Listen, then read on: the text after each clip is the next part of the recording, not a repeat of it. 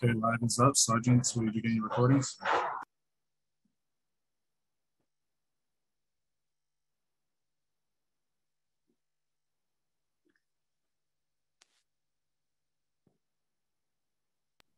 Cloud recording is up. Sergeant Polite, you may begin to open.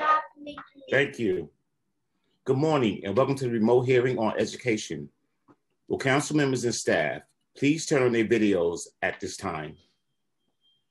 Thank you. To minimize disruptions, please place all cell phones and electronics to vibrate. You may send your testimony to testimony at council.nyc.gov. Once again, that's testimony at council.nyc.gov. Chair Treyger, we are ready to begin. Good morning and welcome to today's virtual hearing on meeting the needs of students with disabilities in the COVID era and on a pre-considered resolution in support of state legislation to provide a remote learning option when community transmission of COVID-19 is at a substantial or high level. I'm Councilmember Mark Treyger, Chair of the Education Committee. A little more than one year ago, on October 22nd, 2020, this committee held an oversight hearing on reopening schools and the impact on students with disabilities. COVID 19 continues to shine a bright light on the inequities we know already exist. And as I declared then, all is not well for any of our city's nearly 1 million students, and it is definitely nowhere near well for more than 200,000 students with disabilities who have already been historically neglected under the current education system. Here we are, one year later, and I think things are even more challenging and in some cases, even more worse than they were before. In recent days, we have learned that the city's special education academic recovery program will begin in December, nearly three months into the school year. We have been dealing with this pandemic since March 2020. We already knew students with disabilities and their families were not having uh, their academic needs fully met by the city. And we could intelligently deduce uh, that the COVID 19 pandemic would further exacerbate those deficiencies and add to them. When we reopened schools in September 2020 for the 2020 21 school year, the administration should have been hard at work preparing to launch the special education academic recovery plan for the first day of school on September 13th, 2021. The administration did announce the New York City Academic Recovery Plan on July 8th, 2021, which was supposed to address the impacts on learning for all students resulting from COVID-19 pandemic.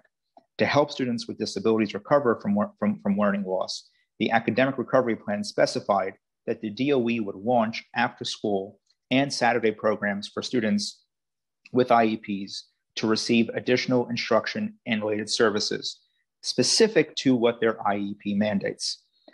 We now sit here on November 18th and not only have special education recovery services not yet begun for thousands of kids, but there has also been very little information provided about the implementation plan. I received more information uh, on this plan recently from a Chalkbeat uh, article, uh, quite frankly, than I have uh, from from folks in the admin. Although in, in recent days we have gotten some more information, which I, I will I will uh, share share shortly, but nowhere near enough information that, that, that we, we can have to conclude the state of, of this program. Parents and students too have been kept in the dark. We hear over and over that communication should uh, will be improved, but time and time again we find in the administration and the DOE is behind the curve. Uh, we heard yesterday that a, at a District 75 town hall with DOE, uh, it was revealed that uh, some folks, some parents shared concerns that there would be no busing for children to attend special education recovery services either in the mornings, after school, or on Saturdays. Uh, I don't even know where to begin on that, uh, although I, I, am told that there might be some uh, breaking news on that today, which I, I want to hear more shortly. Uh, we've also heard that there are serious uh, staffing issues, and I want to I want to say even more bold than that. There are staffing issues. It's not that I'm hearing about it. There are staffing issues, and the administration needs to come clean on how severe they are in, uh, facing our schools, uh, which are a major hurdle in implementing after school and Saturday recovery programs. Uh, apparently, principals are having difficulty finding enough staff, especially licensed special education teachers who are um, willing to work overtime in these programs. And I'm still hearing anecdotal reports about a continuing shortage of paraprofessionals. Uh, at our hearing on October uh, 22nd, I said that the administration and DOE must do more, must redouble their efforts to provide students with disabilities an education equivalent uh, to students without IEPs. All of our children need to make sure that their needs are, are, are being met. That, that is on us, that's our obligation. It is just not happening. It now seems that we have taken steps backwards and things are rapidly unraveling. There is little more than one month left in this council's session. Uh, this council and this committee have fought hard to raise the voice of students with IEPs and their families uh, to ensure that their basic needs are met, to hold this administration and the DOE accountable. And yet, as the administration prepares to exit office, things appear to be collapsing. If the administration was, was more focused on delivering the legally mandated services that students with disabilities are entitled to, and less on advancing political agendas early in the morning on cable TV, then maybe we would be in a different spot today. Uh, this committee will also hear testimony today on a, on a pre-considered resolution that I'm proud to sponsor along with Councilmember Rivera and Public Advocate Williams, calling upon the New York State Legislature to pass and the governor to sign uh, Senate uh, Bill 77381, Assembly Bill 8283, to require any public school located in a city with a population of 1 million or more to provide a remote learning option when community transmission of COVID 19 is at a substantial or high level. When the mayor announced last spring that there would be a return to full time in person instruction for all students this year with no remote option, many parents in New York City expressed real concerns, serious concerns about their children's safety. As a result, some parents chose to keep their children home rather than risk potential health consequences. These students have subsequently had no formal instruction from the DOE so far this year, further exacerbating uh, their learning uh, loss. This never would have happened if the administration had continued to offer a remote option, something that I called for as a sensible thing to do during an ongoing pandemic. I want to thank everyone who is testifying today. I want to thank the City Council staff for all their work they put in, uh, Malcolm Butehorn, uh, Jan uh, Atwell, uh, Aaliyah Reynolds, uh, Chelsea Baytemur, Messiah Sarkisian, and Frank Perez. I also want to thank my staff, Anna Scaife, Vanessa Ogle, Maria Henderson, and Janine Karaketti. Finally, I want to thank all the parents and advocates who have joined us today and educators and all of our prior remote hearings throughout this pandemic. Uh, you have patiently waited to testify, share your thoughts, concerns, ideas, and frustrations, and I'm thankful, and we hear all of you. I will now turn it over to today's moderator, Aaliyah Reynolds, policy analyst for this committee. Thank you, Chair Treyger. I'm Aaliyah Reynolds, policy analyst to the Education Committee. Before we begin testimony, I want to remind everyone that you will be on mute until you are called on to testify. After you are called on, you will be unmuted by a member of our staff and Zoom will prompt you to accept the unmute. I will be calling on public witnesses to testify in panels after the conclusion of the administration's testimony and council member questions, so please listen for your name to be called. Council members who have questions should use the Zoom hand raise function. In Zoom, you will be called on in the order with which you raised your hand after the full panel has completed testimony. We will be limiting council member questions to five minutes. Please note that for the purpose of this virtual hearing, we will not be allowing a second round of questions. For public panelists, after you are unmuted, please listen for the Sergeant at Arms to give you the, the go ahead to begin your testimony. All public testimony will be limited to two minutes.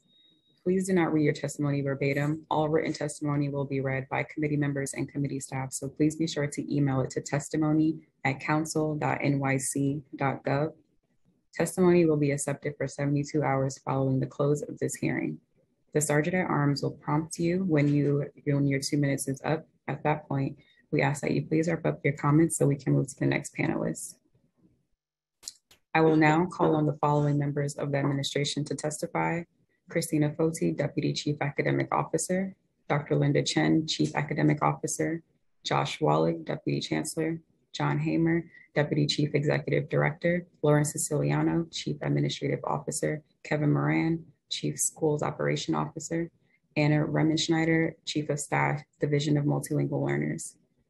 I will first read the oath, and after, I will call on each panelist here from the administration individually to respond. Do you affirm to tell the truth, the whole truth, and nothing but the truth before this committee and to respond honestly to council member questions? Christina Foti, I do. Dr. Chen, I do. Josh Wallack, I do. John Hamer, I do. Lauren Siciliano, I do. Kevin Moran, I do. Aaron Remenschneider.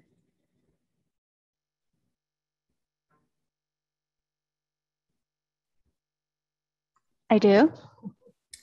Thank you. Christina Foti, whenever you're ready to begin.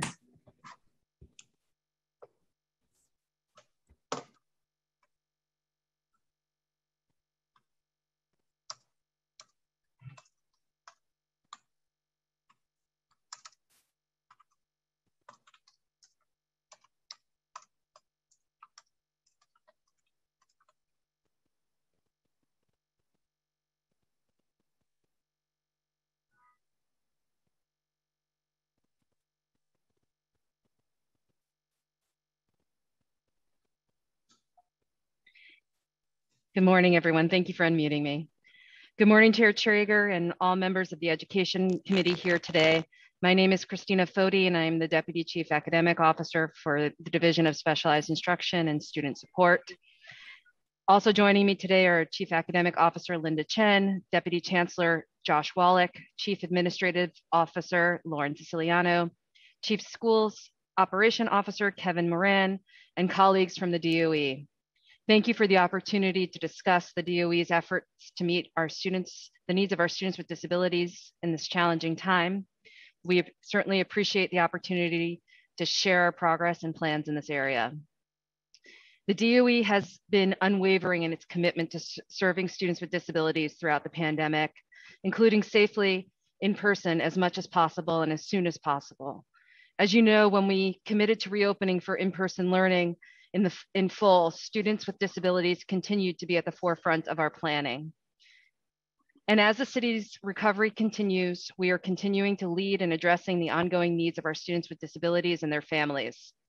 Nothing has brought me more joy than seeing our students back to learning with their teachers in their classrooms. The disruption to education from, from the pandemic has affected all students and families in New York City, but not equally. We know that many of our most vulnerable students, including the students with IEPs, are significantly impacted by the pandemic. Our response is guided by the imperative to support every student in their recovery. And with that vision in mind, pardon me,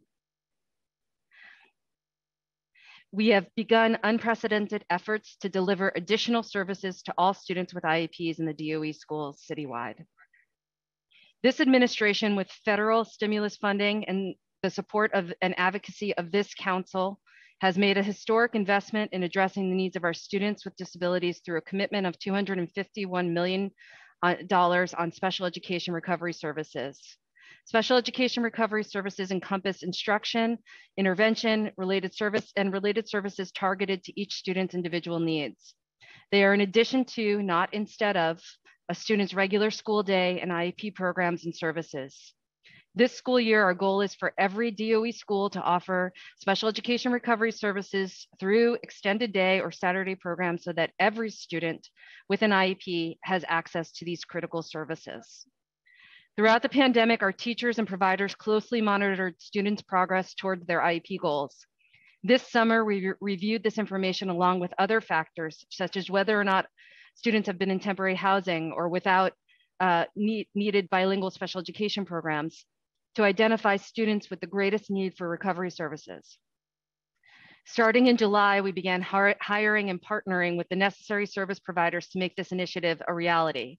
We have hired or in the process of hiring an additional 350 speech teachers and 150 occupational therapists. In addition to local staff postings, principals are authorized to bring on providers from other schools and other boroughs and contract agencies are also available to provide services as needed. Schools also have the opportunity to, to partner with community-based organizations to bolster their staffing and program offerings. With all of this planning, we are thrilled to have the implementation of this historic investment underway. Each school has received the prioritization level for their students with instructions to use their own knowledge to identify students who need higher level of support or prioritization. For the highest priority students, services will begin as soon as possible if they have not started already. The Special Education Recovery Initiative offers these additional services to our students without any need for parents to make a formal request, easing administrative burdens on families and educators alike. As I speak, schools are reaching out to parents to develop individualized plans for, for special education recovery services for every student, taking into account parents' input and preferences. Already, schools have contacted parents to develop recovery service for services for thousands of students with IEPs in DOE schools. Along with the extended day and Saturday programming as part of the Special Education Recovery Initiative, we have made significant investments to ensure schools are equipped to provide targeted literacy and math interventions for students with IEPs, as well as students without IEPs who are at risk or identified as in need based on screener results. We have allocated $5 million in funding for the training of teachers and paraprofessionals, and more than 2,300 have been trained since May of 2020. With, the flex, with flexibility in funding that also allows schools to purchase intervention materials for students, for teachers and students. Given the size of our city, the ambitious scope of this work requires a heroic effort and the shared commitment of our schools, teachers, related service providers, our families, our advocates, and each of you. New York City is making an enormous investment in providing our students with disabilities and is poised to deliver additional services to students more comprehensively than we have ever done before. While we continue to focus our efforts on the new Special Education Recovery Initiative, the special education process in general remains intact. When a student may need a change to their IEP, for example, to add counseling, Schools are instructed to follow standard procedures for determining students' need to develop IEPs through collaborative discussions among the student's teacher, their parents, their and their providers. Throughout the school year, our, our, our, IEP teams will consider parent requests for services addressing each student's current individual needs through IEPs and recovery services while taking into account parent input and concerns at every stage of the process. As reflected in public reports required by this committee's legislation, leading up to the pandemic, we had seen consistent and substantial year over year improvements in the timeliness and completeness of special education service delivery. We share the commitment's the, the committee's belief that transparency helps to promote accountability toward our goal of seeing all students are fully served. With this in mind, alongside of the public reports newly required in 2021, we be began to report on the service delivery broken out by superintendent responsibility. Historically high levels of service provision followed. Of course, last year's blended learning conditions made data collection challenging. Uh, however, we are doing all we can to track and monitor that data. We also uh, work are working on proposed changes for the 2021 school quality report that focused on advancing equity, in part by beginning to include the percentage of IEPs who were fully, partially, or not receiving their IEP recommended special education programs and, and services. The proposed changes will support our school communities and field and central offices to provide improve to improve teaching and learning practices. With the return of full, per, full in-person learning this year, the results so far validate our strategy. Citywide, as schools are, our schools are delivering special education programs at the highest rate ever for this point in the school year. As of mid-November, 82% of our students reported fully served and 96.6% of the students citywide are at least partially served. Those positive numbers were achieved even with staffing challenges early this school year through sustained work to support schools to program more efficiently, earlier, and more thoroughly. Superintendents and BCO teams that support them have worked tirelessly to address the shortfalls in the provision of services throughout the city. I also wanna highlight other critical and ongoing work on behalf of our students with IEPs and their families. Alongside our recovery efforts, we continue to expand training and program offerings in several key areas. As we did in school year 2021, we, we are offering extended eligibility for students who have turned 21, but are in the need of continued education or support services in order to graduate with a diploma or transition to adult programs and services. This applies not only to students attending DOE schools, but also for students attending charter schools or placed by DOE in state approved non-public schools. We continue to provide these extended services across the city. In addition, students with IEPs who have completed school but still need to be connected with post-secondary services are receiving transition support consultancy services through our borough-based transition college and college access centers or the District 75 Office of Transition Services and Post-Secondary Planning Initiatives. As part of our focus on literacy, we are continuing to fund our IEP teacher positions in 960 schools who are trained in research-based literacy interventions. We have also developed and launched an intensive reading education and development program, early literacy program, which is a reduced sized ICT class that provides in-depth structured reading interventions to students with and without IEPs. Each iRead classroom has, a, has both a general education teacher and a special education teacher who provide daily instruction with a focus, with a focus on organized reading interventions in all subject areas. A master or lead teacher with special ex expertise in literacy intervention supports those teachers with planning and also works directly with the students in the classroom. The small class size and extra adult support enables teachers to adapt instruction to meet the needs of all learners with a focus on improving students' literacy, language, and speech skills. We are also, we have also expanded our ASD Nest and ASD Horizon program, adding 40 new sections this school year these programs serve students with autism spectrum disorder through acclaimed specialized program models in 96 schools citywide.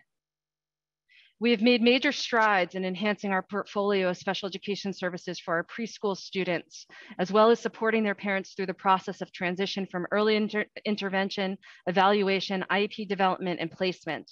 The city's substantial new investments in preschool special education include bringing preschool special education programs 4410s and 40, 4201s into 3K and pre-K by issuing a contract enhancement.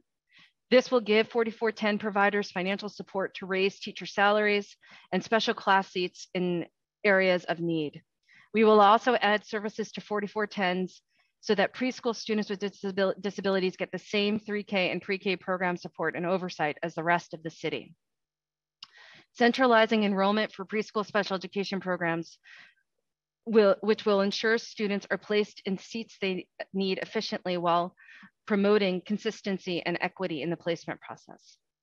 In addition, we are implementing a number of initiatives to support access to inclusive settings and serve more students with disabilities in less restrictive environments.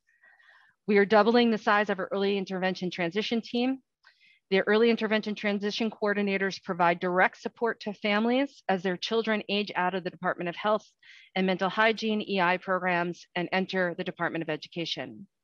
Finally, as part of the DOE's ongoing commitment to ensure that students have timely access to educational program supports, the DOE has increased the number of CPSC administrators and community coordinators at these committees of preschool special education, which allow us to under, expand our reach to more families.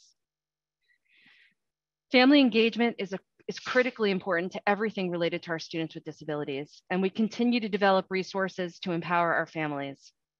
We have made significant investments in expanding our family empowerment efforts, including our Beyond Access series of webinars. The Beyond Access series provides families with the opportunity to learn directly from special education subject matter experts. So far this year, we have hosted sessions for thousands of families on special education recovery service, academic screeners, at-home sensory strategies, and many other topics. We will continue to provide these critical learning opportunities for families on Tuesday evenings at 7.30 throughout the school year. Families can access past sessions on the DOE website with captions available in 35 languages. We recognize that we are only at the beginning of our recovery process and not the end. Special education recovery services will be one of our most important ongoing priorities, which we will adjust and refine as we learn more about the students' needs and their responses to these services. My team and I remain committed to eliminating the detrimental effects of the pandemic's disruption on our students' development, however long that may take, while meeting their individual needs on an ongoing basis. We welcome the partnership of this committee in pursuit of those goals. I really want to thank you, Chair Treyger, and so many members of this committee for your advocacy on behalf of our stu all students and particularly on behalf of our students with disabilities. As I've described, we have seen clear benefits from our students and families from the engagement of this committee, and I look forward to our continued partnership in the next year and beyond. I'm now happy to address any questions that you may have. Thank you, Christina. Um, before we turn to questions, we will actually hear from Councilmember Rivera to give opening remarks for the pre-considered resolution being heard today. Uh, Councilmember Rivera, whenever you're ready, you can begin. Thank you to the committee staff and of course the Chair Treyger for your guidance and your outstanding leadership on all issues related to education. So I, I want to thank, of course, the administration for being here and for providing testimony. I'm going to speak a little to as uh, a little on remote learning and really proud to join my colleagues today in introducing a resolution calling upon the New York State Legislature to uh, require any public school located in a city with a population of 1 million or more to provide a remote learning option when community transmission of COVID-19 is at a substantial or high level. As chair of the Committee on Hospitals, I know how disproportionate transmission rates and vaccine inequity has impacted many Black and Latino communities like the one I grew up in. And while I'm deeply proud of the work that we have done as a city to build vaccine confidence and dramatically reduce COVID 19 transmissions, we know the pandemic is far from over.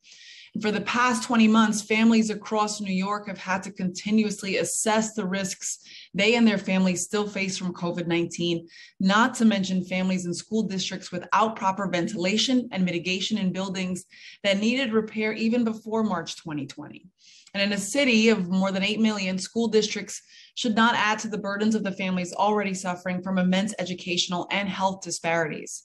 All five boroughs of New York City are still considered high transmission areas by the CDC, meaning they have at least 100 new daily cases per 100,000 residents. In New York City, we saw over 1,800 cases per day in early September when public schools reopened in person.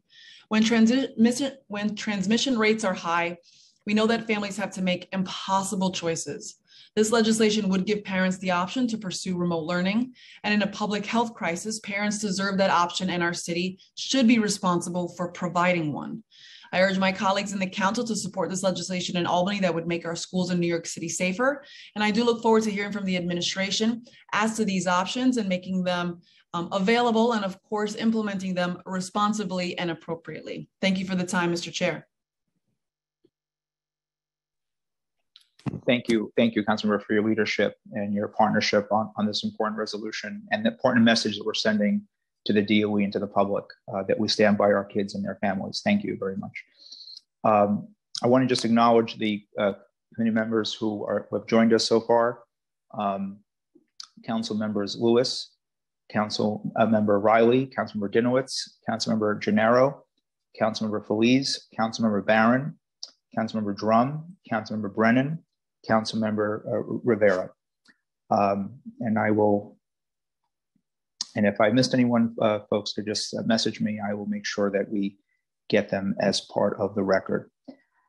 Um, I, I, just, before I get into the questions, and I, I, I want to say this, this publicly, I, and this is not a reflection of Christina Foti because I, I found her to be incredibly responsive, accessible, gets back to me, my office very quickly on issues and things we raise. And even Kevin Moran, uh, I have to give a give a thanks as far as uh, his responsiveness to many issues that, that I've raised. But we are failing here.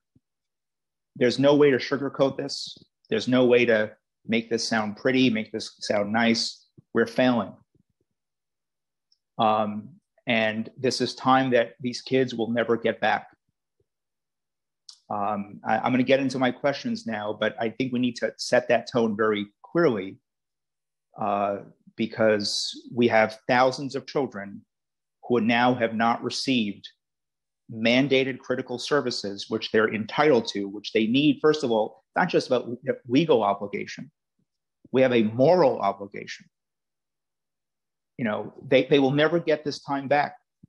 As a former teacher, if my student missed a day or two of instruction, that was a lot.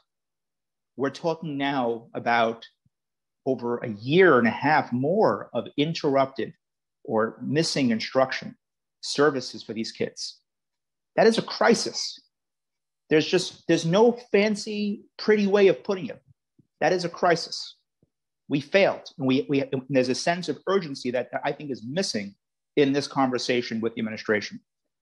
Um, I'm going to get to questions now. On on November 9th, uh, it was reported the special education academic recovery program uh, scheduled to begin um, as uh, late as December 6th for the highest need students in all city run schools, city officials had stated. Um, that's less than three weeks before winter break starts on December 24th and nearly three months into the school year. The program was originally slated to begin uh, in October or early November and then pushed back to November 15th. Please explain how we arrived here. Why are students with IEPs, once again, quite frankly, getting the shaft from City Hall. And again, I hold the top accountable. I hold the top accountable. This is not a reflection of, of Ms. The buck stops at the top. Uh, irrespective of federal COVID relief funds, this is the one of the richest cities in the country. Uh, in fact, richer than most states too. Why was planning for this not uh, begun last year? Um, and why are we here? Ms. Foti, explain to me, please, how did we get here? Thank you Of course, Chair. Um, Chair, we, we certainly share your sense of urgency and uh, there's no one that wants, uh, other than our families, there's no one that, that wants this more than, than we do to happen for every one of our students as quickly as possible.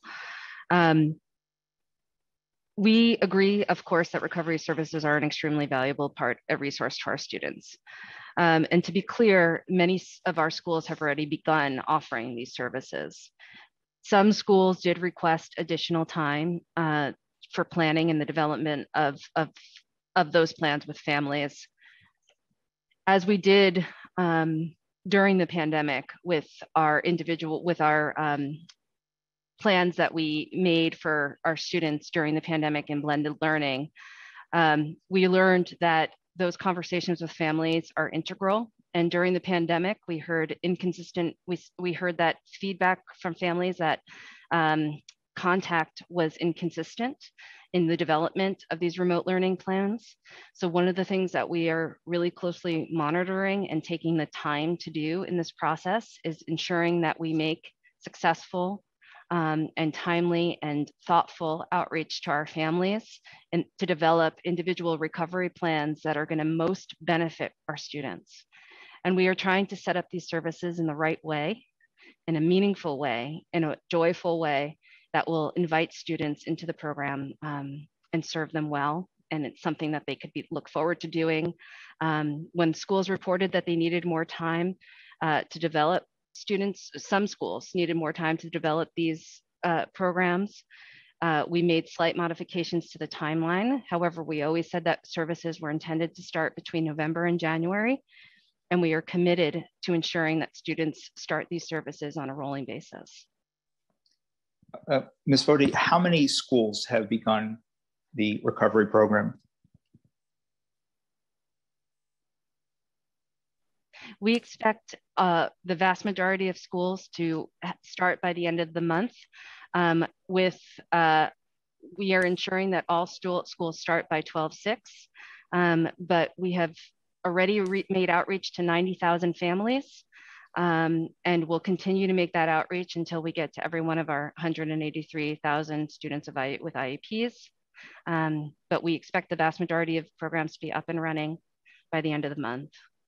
So, Ms. Foti, I, I appreciate that, but I don't think it answered my question. How many schools are currently uh, have started the recovery program? We can definitely follow up, Chair, with the, the exact number of, of schools that have started as of today.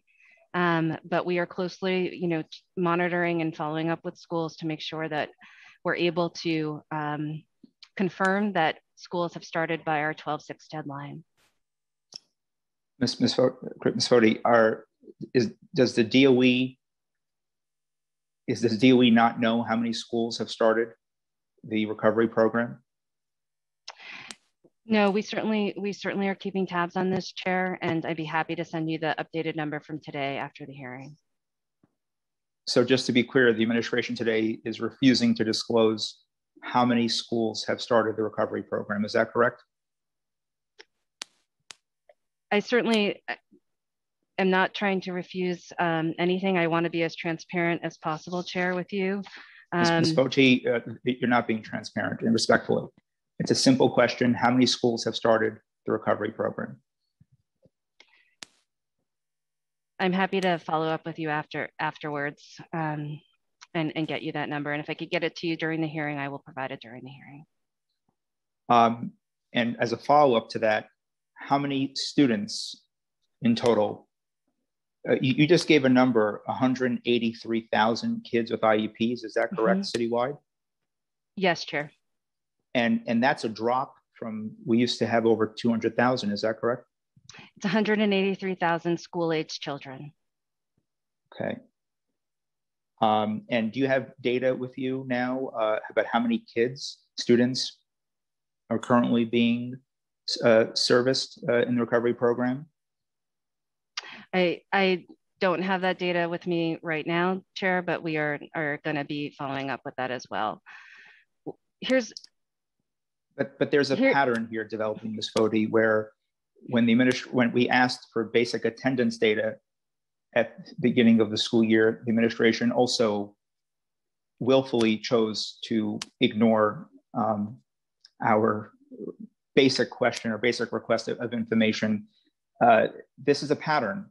This is not the first time that the administration comes unprepared to a hearing on special education, refusing to tell us how many schools have started this critical program, how many kids are being served. These are not gotcha questions. These are basic questions that should be expected at a hearing on special education services.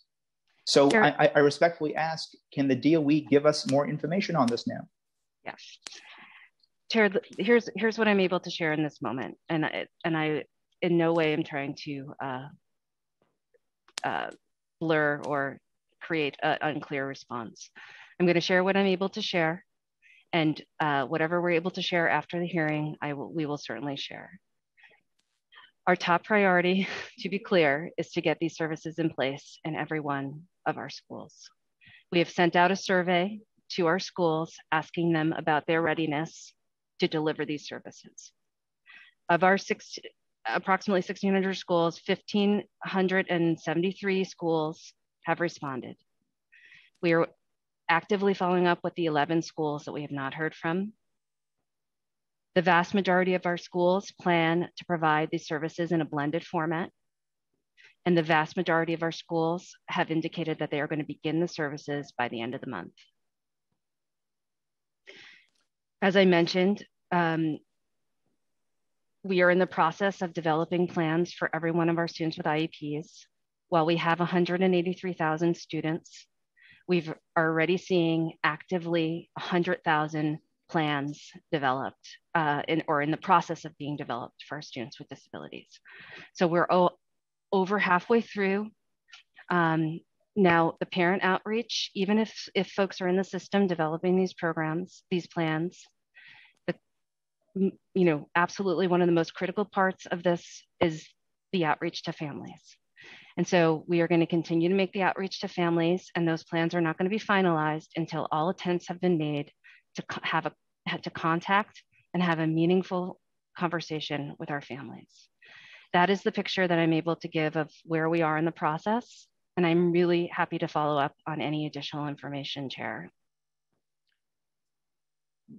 But Ms. Foti, how are we supposed to uh, Think about the message we're sending to families right now. How are we supposed to target support outreach if we don't even know which schools are starting this program or not? We don't know how many, we don't know who started, who needs more help, support, the reasons why they haven't started. What message are you sending to parents and families right now? Uh, this is not a message of confidence. Um, uh, can you share with me Um, what are reasons that you're hearing and your office is hearing why schools are having difficulty uh, starting up this program? I mean, I, I'm hearing things, but you're, you're the administration. I, I'd like to hear from you, please.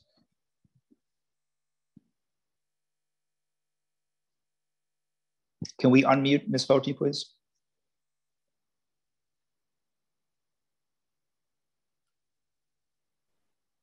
Thank you.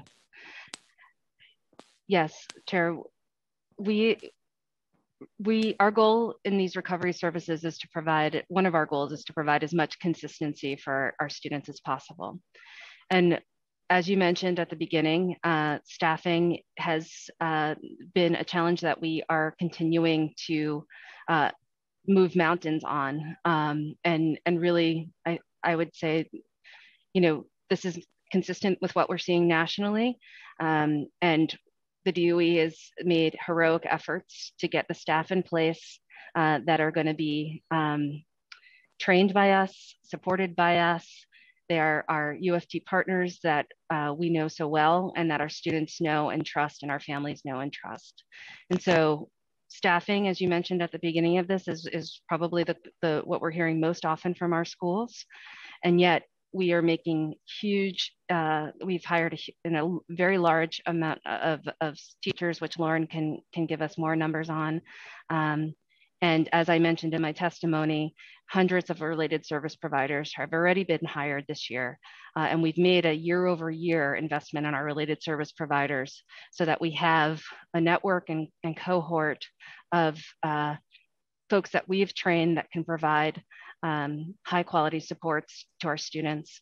Um, and quite frankly, they're the people that our kids know and they love and who uh, really got our students and our families through, through the pandemic. Um, and our, our kids are delighted to be back in school with them. So Ms. Foti, you mentioned staffing is a major issue in terms of why programs having having difficulties uh, starting. Is that correct? that I think that is, you know, again, it's I think this has been we've seen this across across the country, um, but I also think that we're New uh, York. We we are we are New York. Uh, the mayor yes, goes on TV every morning and says we're we're New Yorkers, uh, and so uh, I, I, I need to I need to kind of dig deeper on this because sure. you know the mayor does not talk about this issue uh, on TV, unlike other things. Um, and so I'm just curious uh, to know, and I think that Ms. Uh, Lauren Siciliano is on the is on the is on the hearing here as well. Um, do we have a number of how many pending uh, uh applications uh, for paras we have in the system now? Uh, these are nomination letters sent by principals to, to get folks hired for their schools because, again, I continue to hear that uh, there is a shortage of paraprofessionals in our schools. Principals have sent uh, paperwork into the DOE weeks ago, if not months ago. Many folks still have not been hired. Uh, so, do you have a number of how many pending applications, nominations there are still sitting within DOE? Yes, thank you for the question, Chair Treyger. It's a pleasure to be with you this morning. Um, we are so grateful to all of our staff for their their dedication and their service and we know how important uh, all of the staff who support our students with special education have been in just going above and beyond to support our students and families so for paraprofessionals um, I am very pleased to share that we have, since the start of the school year, more than doubled the size of the substitute paraprofessional pool. We now have about 11,000 substitute paraprofessionals in the pool, uh, we've more than doubled the number uh, since the start of the school year. Um, and we are continuing to grow that pool on a rolling basis. As you mentioned, nominations come into us and we are escalating all of those. We are um, expediting, I should say, all of those nominations, um, including sharing information with principals around exactly where a nomination is in the process. Um, there are steps that are uh, within DOE's control, and there are many steps uh, where the applicant needs to take an action, such as completing the application. But we are expediting all of these nominations, uh, including waiving fingerprinting fees, um, while still, of course, doing the, the rigorous background check that's needed. But uh, Mrs. Siciliano, uh, just again, a substitute can refuse to come into a school. Is that correct? Uh, correct. Substitutes, um, it, it is it is a, a, mutual consent for them to show up at the school. Um, but just a reminder on paraprofessionals, before you can be hired as a full-time para, you need to have served as a sub for 25 days. So in order to uh, hire those substitutes full-time, to hire them as full-time paraprofessionals, they need to first serve as substitutes for 25 days. Right. So, and you mentioned you have 11,000 or so in the pool. How many do you have pending? Um, pending, those nominations come in on a daily basis in real time. Um, and many of them are, you know, there are a range of steps in the process. We're expediting the ones that, that DOE can expedite. Um, can you just give me a rough course, number? Just how many are pending right now? Um, I, I, don't have that information on hand. I'm happy to look into it to uh, to make sure we can share the data in a meaningful way. Um, but what I can say is that we've more than doubled the size of the pool um, and added 6,000 uh, substitute paraprofessionals this school year alone. Right, um, because I'm still hearing from principals that they're waiting for a significant, sizable number of paraprofessionals to get hired. And so I, there continues to be, uh, I think, a disconnect here. I want to just go uh, back to Ms. Foti. Um, we understand that the DOE has split students with IEPs into three priority groups with staggered timelines for launching the recovery services. Uh, please describe those three priority groups um, and how many students are, are in each. Um, what is the percentage within each group of the total population of eligible students? And what is the timeline for launching recovery services for each group? Of course. And Chair, I want to circle back to, to the number. We pulled we pulled the number, and I just want to be incredibly clear that is super important to me and everyone on this on this in this meeting that we provide you the information you're asking us for, and we do so in a transparent way. And I, I just want to be really really clear about that. Um, we pulled the, the the most recent report, and 500 of our schools have started. Um, and the rest of the the vast majority of them on the survey have in, have indicated that they will be starting um, by the end of the month. Regarding the individual student number, I know that's something you're interested in, and that's something I'm going to have to get back to you on, but this is the information I have today. I want to um, answer your question about priority groups as well. Um, so within our priority groups, recognizing that this is a Herculean task for our schools, um, and it is a new task, right? Uh, and one that we're really um, grateful to, be, to have the resources to be able to do. We centrally pulled data on the number of uh, on children that um, showed little to no progress uh, with regard to their IEP goals. And as you know so well, Chair, uh, our IEP goals are the driver of instruction for our students with IEPs.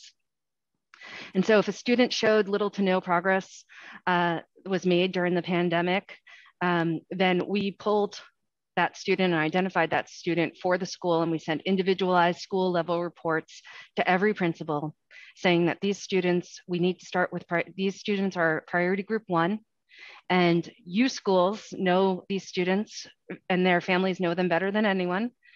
Please tell us if there is something um, if we're right here that we see that there's been little to no progress or is there an update that's need to be made?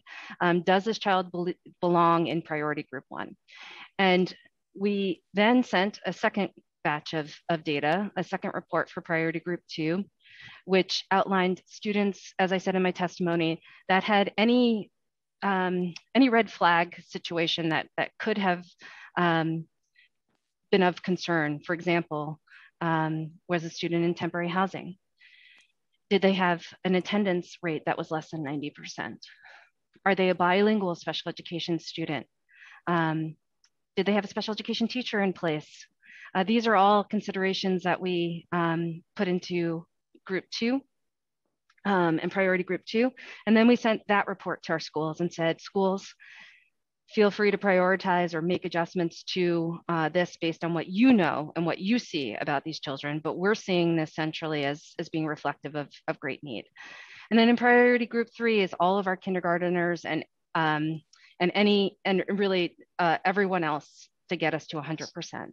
And all these, although these priority groups um, you know, are, are, groups that we've identified and asked schools to make decisions about and, and given them a roadmap as to where we think schools should start. The goal here is 100% and every child is included um, in, in, this, um, in this initiative. We just ask schools to start with our services for students with the most urgent needs based on what we're seeing and ask schools to um, figure out based on that data if they agree with if that report and if so please start those students uh, as soon as possible so that they can begin receiving these additional recovery services. So I, I appreciate that uh, answer, Ms. Foti. And you, you mentioned, uh, according to your latest data, 500 schools have begun the, the program. Is that correct? Yes, Chair. And do, are you keeping tabs on are all these programs, uh, these 500 schools, are they in person? Are they remote? They, can you, do you have some data on that? Yeah, the, we are keeping tabs on that. Um, and the vast majority of our programs are going to be blended. So uh, in, in person part-time and remotely for supplemental services. Um, and I'll ask my team to see if, if we have the that number for the 500 that I just cited. Um, but everything we're seeing uh, points in the direction of, of most often schools are choosing to implement a blended approach to these services.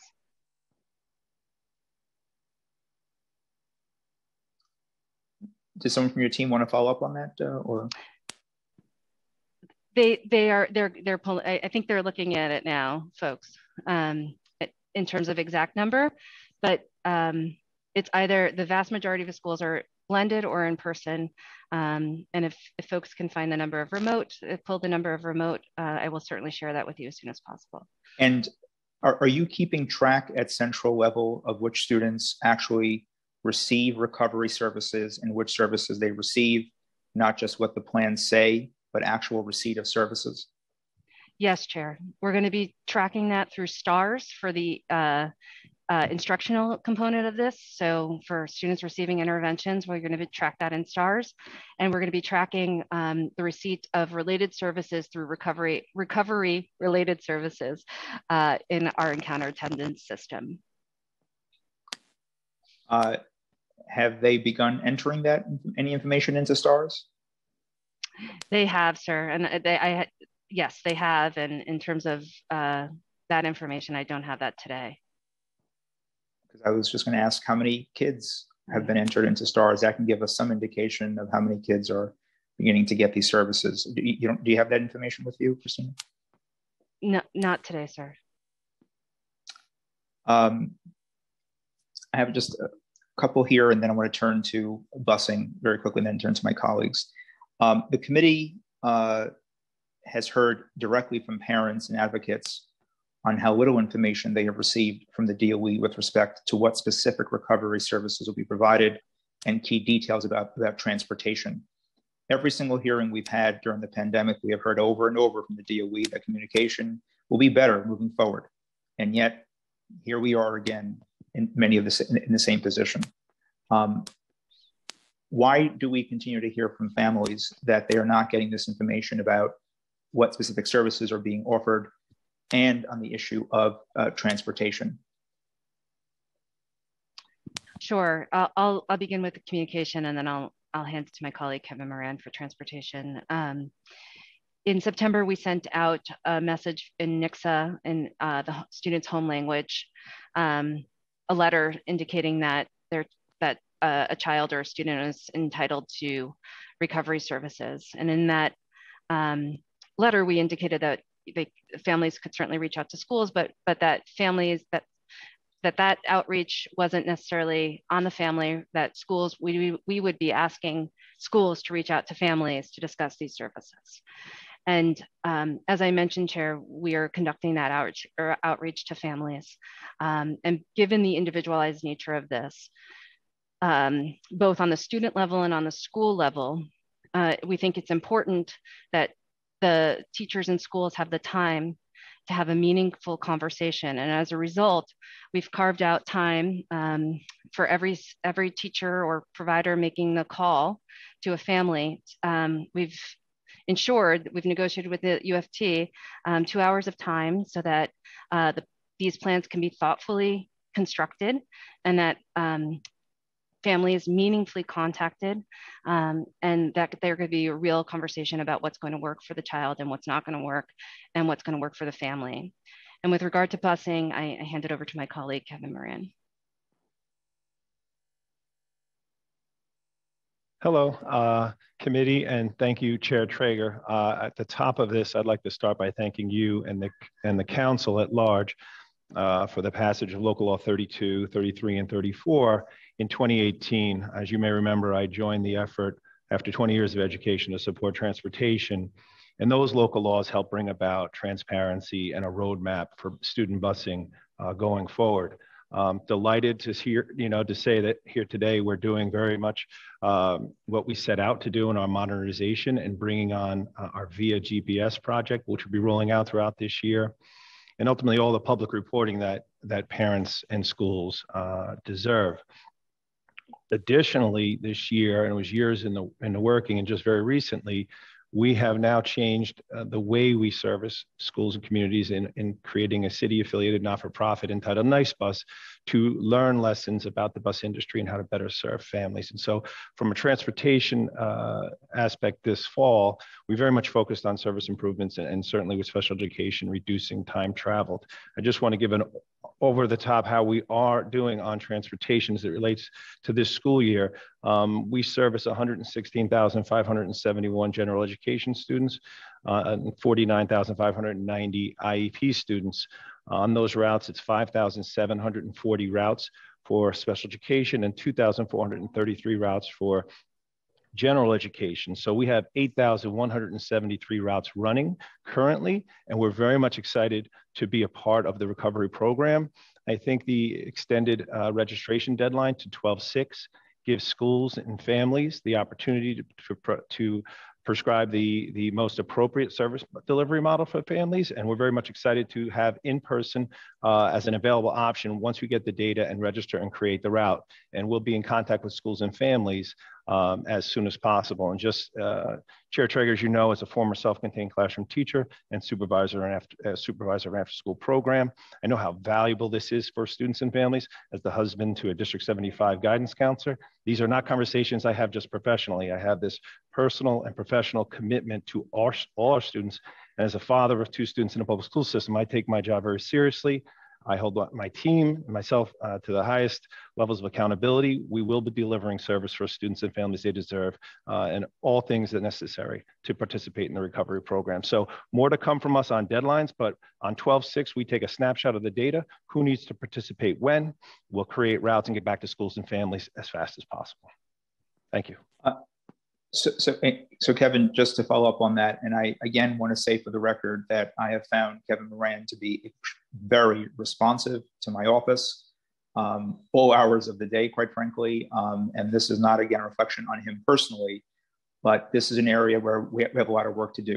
And I think Kevin would agree that there's a lot more work to do on, on, on, transport, on transportation. Kevin, if you could help clarify for the record, because there were folks, families who heard uh, at a recent meeting that there would not be transportation provided in terms of the recovery programs and so forth. Can you clarify that on the record about what will there be transportation services? What will that look like and when will it start? Yeah, yes, there will be transportation services provided. We followed up on that. We kept the transcript of the meeting and kind of clarified kind of what, potentially where the disconnect was.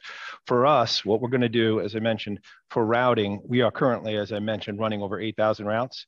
So when a school dismisses at three o'clock, we're going to have to set another set of routes for 5:30. We're taking that data snapshot on the 6th of December.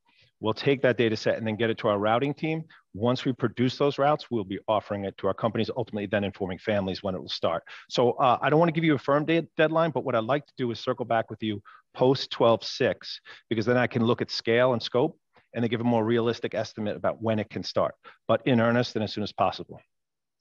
So that information kind of almost uh, conflicts sort of with what Ms. Foti said just before. Just maybe help clarify for me. Ms. Foti, uh, uh, just clarify for me. You had mentioned that you're hoping to get the rest of the schools up and running by the uh, end of this month. Was that correct? Yes, schools are schools are going to are, going to begin uh, serving students in whatever form they can begin serving students, and so we uh, are going to work with Kevin and team to make alternative transportation uh, available uh, in in the way that best su supports the family. Um, it may not be uh, busing, but we are certainly able to, to do Metro cards. Um, we are also uh, providing a remote option for families that would like to take us up on, on that offer as well um, for recovery services while busing gets in place. Um, but we are going to try um, to make, and, and this is why the individual uh, conversations with families is so important.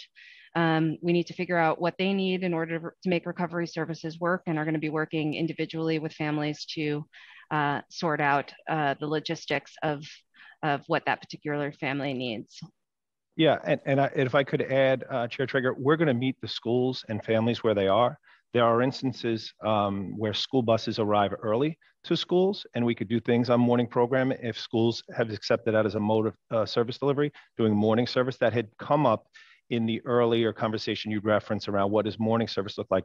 So we won't rule that out. What we want to do is say, look, if there's time and space where buses can get there a little earlier and staff will be in place earlier, we'll absolutely participate in that. And then we'll continue this through the, the registration process of where schools are. We want to take one clean data shot right now of who is participating and then do the city overlay for the for the routing for the city of New York. So so on the 6th, we begin in earnest for, for the busing snapshots. Anything before then, we'll work with schools and families on options that are available to best support.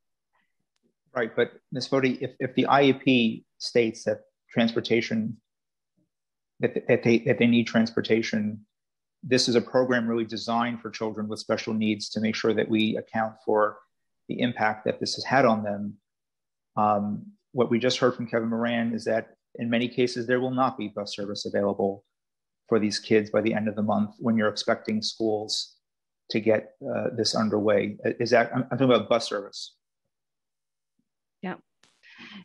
Chair, it, this is, um, you know, ideally, of course, we'd want to, to be saying absolutely services are, are fully in, in place. Again, from the start of this, uh, we have always said that services would be, begin between November and January uh, for our students. And while we share the urgency for this to begin as soon as Ms. possible. Foti, but Ms. Foti, respectfully, that is not when school began for kids. Um, and I also have to say, and I'm not saying you or Kevin, but I also have to say that there has been mixed signals from this administration when others have pressed the issue, whether there's a, a bus driver shortage, whether there's a, issues with companies. Folks at the top have been trying to sugarcoat this, but clearly we have a problem here. Um, and I am concerned. We just we just learned that the majority of schools have not started uh, the, the, the, recovery program. We still don't have a number of how many kids are currently uh, being serviced by this program. And now we're hearing that bus transportation is going to extend likely. And Kevin, based on my history, if you get the information by early December, the way it works in August for regular school year, it takes a couple of weeks, things to process, routes to develop. They do test runs and so forth. So realistically, when will these routes begin? January? Yeah, I, I, hear I hear what you're saying. I think in fairness to the program and the, the service delivery model in terms of assessing students' progress where they are and working with schools on individual plans, and the fact that we at the moment said schools need more time to plan, and therefore we moved the deadline out and introduced various models by which the service could be delivered, albeit a remote setting within the school day but this allowed opportunities for further discussions. And so this was to get it right for schools and families. This is based upon feedback from the field from principals and families about, lick, listen, I need more options available to me. And so the deadline was sent. And so we actually have a deadline of 12-6.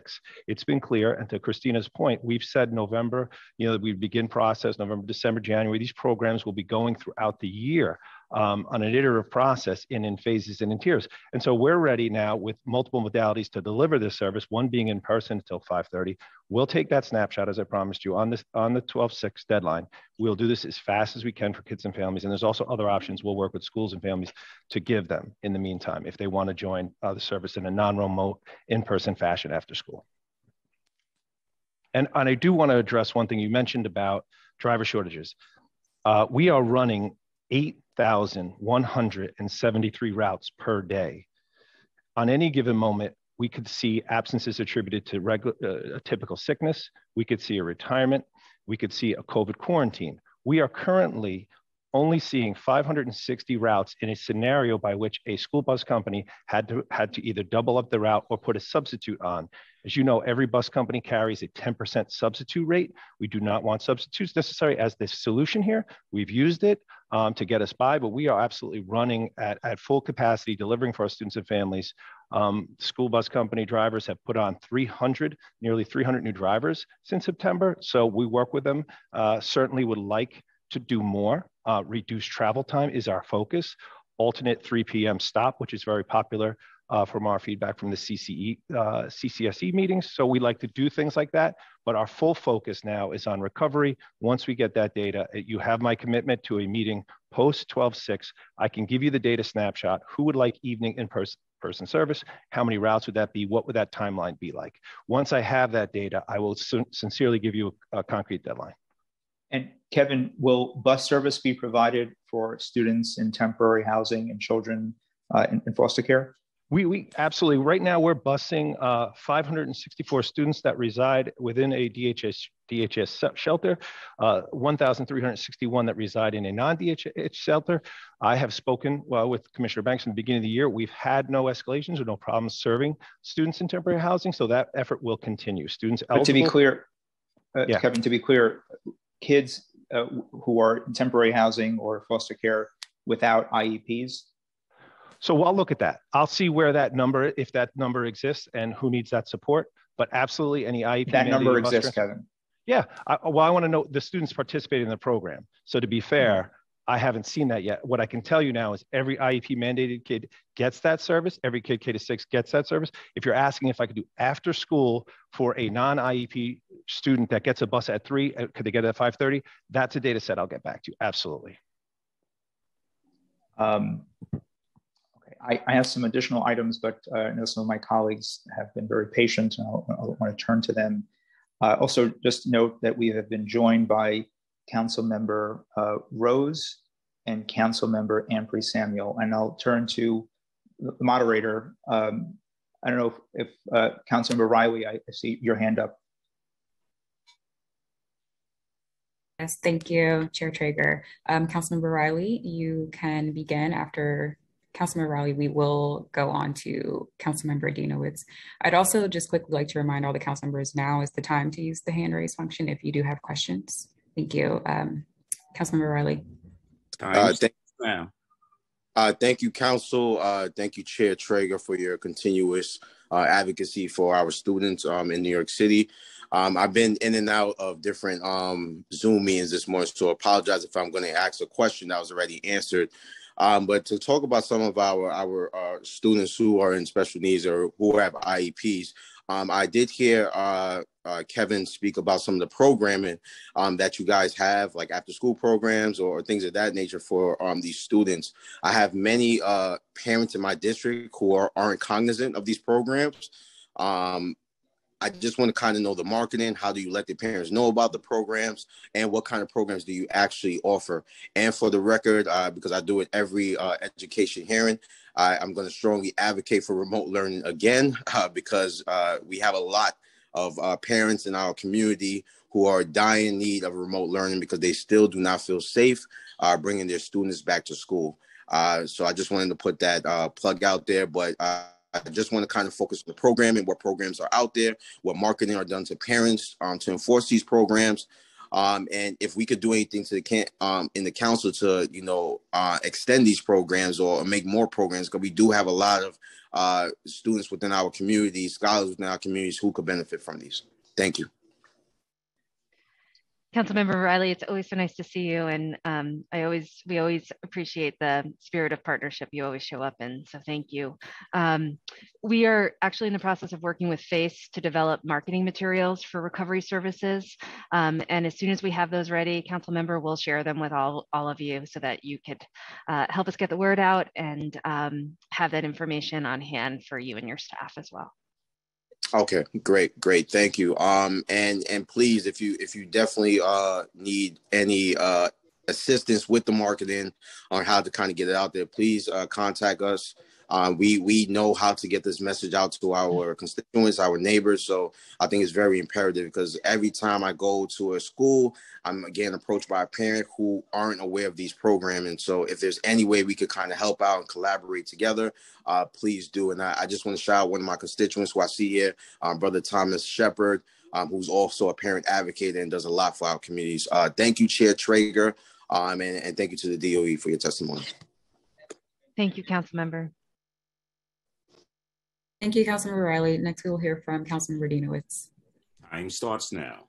Thank you. Uh, good morning, everyone. Uh, first, I want to thank you, Chair Treyger, for you know having this hearing and for your advocacy, and to the DOE for uh, the work you've done to create vaccine sites, and that you'll be coming back to the schools in a few weeks to administer their second shot. Uh, I know that's a big undertaking, but it's vital that we get um, all of our kids vaccinated. Um, I also, before I get started with my questions, want to echo Councilmember Riley's sentiments um, that if there's any help my office can do or we can do in ensuring our parents and our families know about programs available to them, I want to make sure you know we, we have working partners in this council office and many other council offices. It's vital that our children uh, get what they need. Um, so as is you know, as everyone knows, for over a year, our students missed out on in-person academic learning social emotional learning. And as students return, uh, students are still bringing the scars of, of the lockdown, or the fear of bringing COVID home to their grandparents of contracting COVID. Um, have you seen, have we seen an increase in the number of IEP referrals or number of services required as IEPs are amended as a result of students being home for so long um, or facing those emotional needs? For this one, I'm going to invite my colleague, John Hammer,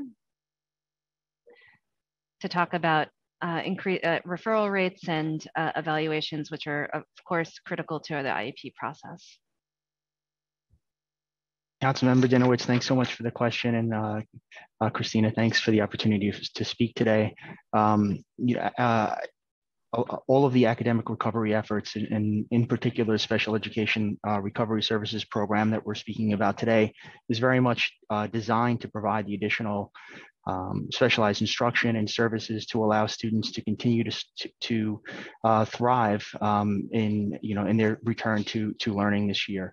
Um, absolutely, our our evaluation processes remain intact.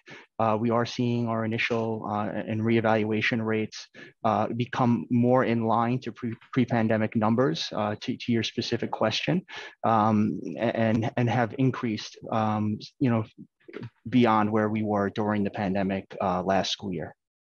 So the, so the referral rates have increased? From, from, from uh, you know blended and remote learning last year they have right. they have i mean predictably right? exactly. do you know by by how much they've increased? They've come they've come more in line to pre pre-pandemic uh, numbers not quite exactly where we were pre-pandemic but over the first couple of months uh, we are we are pretty much aligned to to where we were pre-pandemic. And and have you seen an increase in the number of services required for students who already have ieps uh, I think generally we're seeing uh, services uh, that are recommended uh, aligned to where things were in, in pre-pandemic. I, I, we can look specifically and provide specific numbers on uh, rates to, to special class, and we can definitely look at that and provide that after the hearing. Uh, but generally, students continue to be recommended to receive services in inclusive settings, um, and the supports uh, that are being provided to them, okay. you know, will, will, meet their needs. Yeah, I, I really uh, you know, value that data. I know it's very easy to get off SESIS, you export mm-hmm. an Excel spreadsheet. Um, so I'm very interested to know and very surprised to, to see that services, although kids, we acknowledge students need more and more, that services uh, aren't increasing in line. Um, but that's, um, but, but I'm interested in seeing that data. Um, I, I want to talk about teachers for a second, because, uh, you know, in order to meet the needs of our children, we need to meet the needs of our teachers. And just to paint a picture, imagine a life as a special education teacher before the pandemic. Uh, I'll take high school because that's what I did. you know, we're teaching multiple preps with multiple teachers addressing the needs of the highest need learners in the building, dozens of individualized education plans per year, collecting documents, holding meetings. And all of that is in addition to regular staff meetings, regular assignments like lunch, duty, like tutoring. This is during the day. Now we've added on top of that teachers conducting uh, the DESSA, which is 43 questions, um, the special education recovery service forms, new plans for education plans for students who may have contracted COVID. Um, and so, and so we're piling more and more on our special education teachers. So one, how many special education teachers have left the system since since the school year began or since COVID began? Time expired. I uh, certainly, council members, understand all of us understand and appreciate the the job of our special educators, and they are just phenomenal. Um, and we certainly uh, understand uh, and are cognizant of, of the workload that has been on them um, and uh, are doing all that we can to support them, including trying to provide additional time and compensation for the special education related um, services that we're asking them to do. Uh, with regard to numbers and staffing, I, I turn it over to Chief Administrative Officer Lauren Siciliano.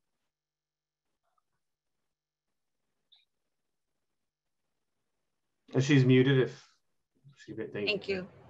Uh, thank you for unmuting me. Um, I absolutely echo everything that Christina shared about how important uh, our special educators are. Um, in terms of retirements and resignations, uh, I don't have a special education specific number, but what I can share and, and do know is that retirements and resignations for this school year are largely in line with where they were pre-pandemic. So for the school year immediately prior to the pandemic, we've discussed um, with the council before that last school year we saw uh, overall a reduction in retirements and resignations compared to what had been our norm. We're now in line with uh, pre-pandemic levels. Um, what I uh, will also share is that uh, in the lead up to this school year, we did hire over 5,500 uh, additional teachers, and uh, nearly 2,000 of those teachers were uh, special educators. And the 2,000 special educators, was that just filling the gap, or is that additional special education teachers above and beyond what it was before? Because as I as I highlighted, the workload, especially of our special education teachers, is drastically increasing yes, it would be a mix of both. Okay, so so how many additional, sorry, how many additional special education teachers have been hired? The net game. Yeah, no, I, I understand what you're asking. Okay, um, okay. What I uh, what I don't know in this moment is um, I don't have a breakout of the retirements and resignations by title, but um, what I do want to emphasize is uh, in addition to the 2000, our work doesn't stop there. We continue to hire throughout the year and add to our special education capacity through a few critical programs. Um, one, it, leading up to the start of the school year, we were able to significantly expand our DOE run alternative certification pipeline programs for teachers that focus on uh, high need areas, including special education. Those programs had dipped to about 500 participants pre-pandemic. And uh, for this school year, we were, able, we were able to more than double that to over a thousand. Um, in addition, DOE um, offers loan forgiveness and subsidized tuition for candidates who um, uh, uh, teacher candidates in these high need titles as well as for extension or additional certification programs for existing staff to get their special education certificate. Um, and then this fall, we launched an in-year teacher pipeline program um, so that uh, qualified candidates are able to enter a teacher education program mid-year to be able to grow that cohort. So uh, I don't want it to seem that the work that we did in uh, leading up to September that the work stops there. It absolutely does not. We are continuing to expand our special education teacher capacity in order to grow the pool of special education teachers. Okay, just, so just understand from you know from what I'm hearing from teachers and, and families is is that these uh, numbers, and, and by the way, the programs of, of, of the accelerated um, certifications, loan forgiveness, those are good programs. And I support those as ways to you know, bring more people into the teaching profession. But the numbers you're saying don't reflect the realities that exist as a special education teacher when more and more is being piled on their plates and it's not being met by more human uh, support and uh, you know I, I the, the extra time to provide um, that's being provided to teachers, the extra, I guess, compensation being provided to teachers. You know, money's nice, but sanity is better. And I think teachers, especially special education teachers, would deeply appreciate more human support. There's only but so much money you could throw at something, right? We understand the, the money's the, the, money's there, but that's not enough. We need to bring more teachers on and reduce the workload because the, again the numbers you're sharing don't align with what i'm hearing from my schools and my teachers and it's becoming an unsustainable model it's not enough to forgive loans for teachers yet the, the, the profession is becoming an undesirable one and an unsustainable one for those in the system and my my last question is just about the, the this um, schools that have done these the, the programs. You said 500 schools have begun like these weekend after school programs. Just when you say begun the programs, are those fully staffed programs that are meeting the, the needs that are fully staffed, that are meeting the needs of all of the students, or those, those just 500 programs that have commenced in some capacity? That have, they are 500 programs that have commenced in some capacity. And just want to reiterate that we have always envisioned these services recognizing everything you just said, council member, about the amount that is on everyone's plate right now, uh, that not everything was going to happen all at once, and hence our priority groups of students of wanting to make sure that services begin for the students that um, need the most support. Uh, and so we've asked for schools to begin those services and then continue to uh, iteratively, it, in, on a rolling basis, continue to uh, uh, add more students to the program, hire more staff as needed. Um, and as we discussed, uh, students are really um, being looked at now for the intensity and amount of service that they need um, to, and this extra help that these services provide.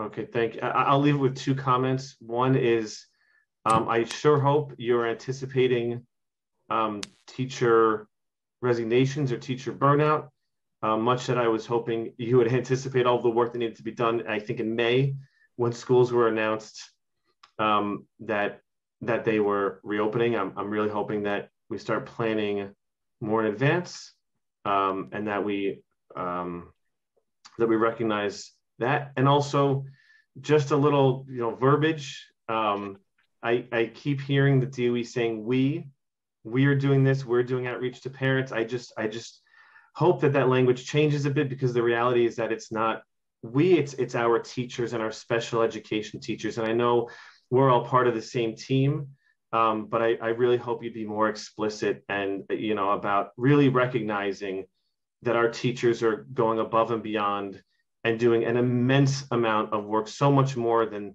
they ever thought they they, they would for our children so I, I hope that you all recognize it and reflect that in the words you use. And I'll turn it back to the chair, Treyger. Thank you very much. Uh, thank you, council member. And, you know, to kind of drive the point further about, uh, I, appreciate the council member questions about the program starting in some capacity versus fully starting. And, and again, many schools have not started in any capacity. Um, this is what we talk about when we talk about equity.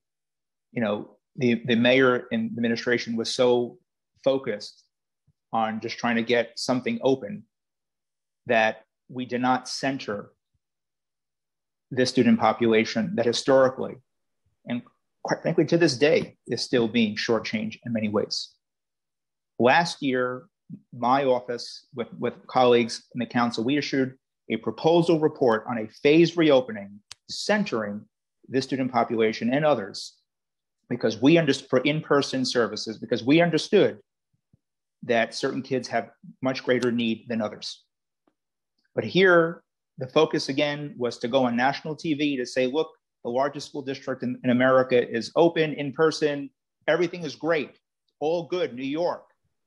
But to this day, we have thousands of kids. I don't even have the number of kids, but thousands of kids still not receiving critical services, which they're entitled to.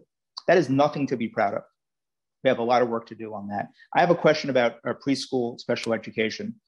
Um, also, I just want to note that we've been joined by Councilmember Rosenthal. Thank you. And uh, will we'll just uh, very quickly, just want to ask this. Um, I see Deputy Chancellor Wallack with us. Um, as part of its recovery plan, the city is using funding to provide an enhanced contract to preschool special education programs to help address critical need. The city's uh, solicitation preview for the enhanced contract notes that the DOE hopes, quote, hopes to create a pathway to higher salaries for staff, but does not make any commitment to salary parity for teachers or staff at preschool special um, education programs. Also, we've been joined by Councilman Borelli, so I want to note that for the record too.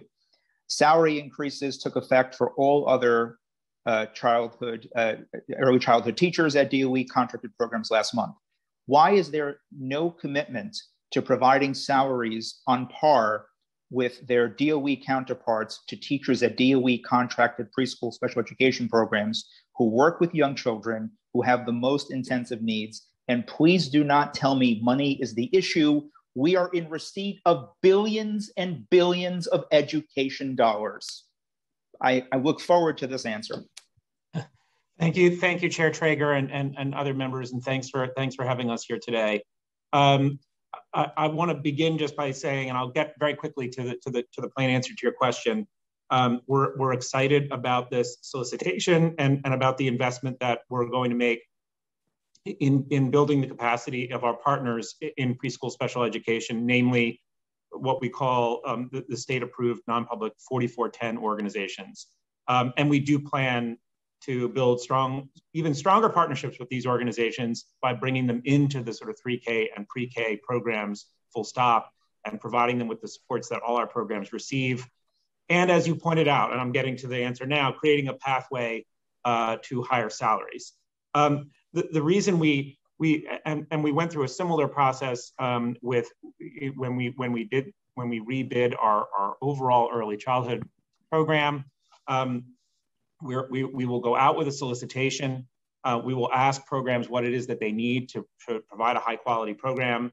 We are we, in keeping with our process, um, don't make um, uh, commitments ahead of time before we know what they will cost, and we go through a procurement process and i think so so that is the that is the reason it, it, it is a process related answer but also a way of ensuring that we're getting um, good accurate information from all those providers and making our decisions with all that information in hand. That's part of what a, a request for proposals a request for information does. And when we have that information in hand i think we share the goal of making sure that all of these educators are, are compensated for the incredible work that they do and in a fair and, and equitable way. Um, but as you said, like that is the reason why we're not committing full stop to a certain result ahead of, of a solicitation and a request for information. We are, we're going to go through that process in a fair way as we did with the rest of the system. So, Deputy Chancellor, when I said the pathway, that I'm using DOE's language. That's that, yes. Those are not my words. That's right. Um, pathway to higher salaries, correct. Why aren't there higher salaries right now? Um, historically, the answer I've been given is money. That cannot be an excuse anymore because we are in receipt of billions of dollars. And quite frankly, much more will be on the way uh, if Congress passes a second round of, of, of, aid to New York, which will be for early childhood edu- ed- education as well, which will free up even more dollars for New York. Which, but I'm, I'm not even counting that. We already have billions from Washington, a lot of money from the state.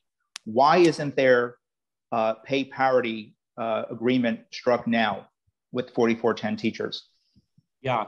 So I, will just say that thanks to, to your advocacy and the advocacy of, of, of, other members on this call, you know, we moved forward in the in the last budget um, with an agreement to make this partnership stronger and put resources to it.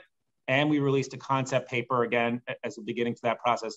We feel the same sense of urgency you do um, and our team has been hard at work preparing um, the next step of this process.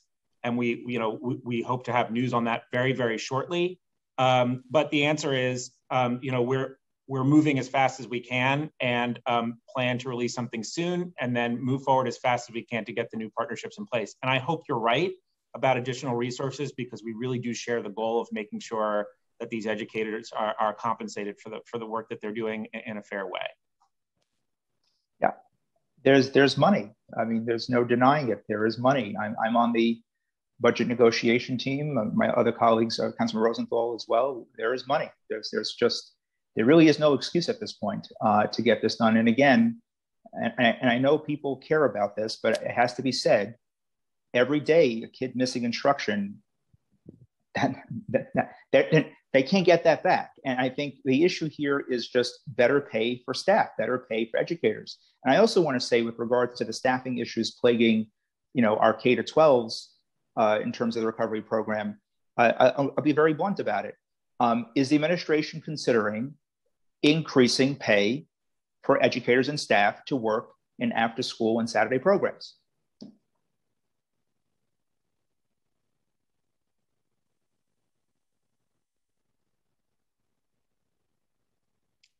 Don't, um, but there's one. I mean, Chair, we hear everything you're saying. Uh, I, I, Lauren, I don't know if you want to jump in here or, um, okay. Uh, she needs to be unmuted. Thank you. Uh, thank you for the question. Um, right now, as, as Christina has outlined, schools are contacting families to understand what services are needed and work with the families to plan out those services. Mm-hmm. Uh, together with the multiple models that Christina outlined earlier in terms of the different ways that those services can be delivered, um, and the, including the different staffing strategies. So uh, at this point, of course, for work after hours, there is, of course, additional pay that comes from that. Um, and we have, as I said, continued uh, other programs and expanded programs that, that incentivize additional um, individuals to become teachers and support our students. So uh, the incentives that we have done so far have really been focused on growing our teacher pool and the pool of, of eligible substitutes. Um, and then for uh, the after school services or Saturday services, there is, of course, additional pay that comes from delivering those services. So, but Lauren, just to answer my question, mm-hmm. uh, is the administration considering high, increasing pay for staff? I know, I know you pay per session. That's not my question. Are you considering increasing pay, which which staff gets to work, so we could address this very severe, serious staffing issue plaguing our schools. I, of course, never want to take anything off the table because all of this changes in real time. Um, that has not been an area of focus so far. And if your other strategies are not working, what am I missing? What is the contingency plan?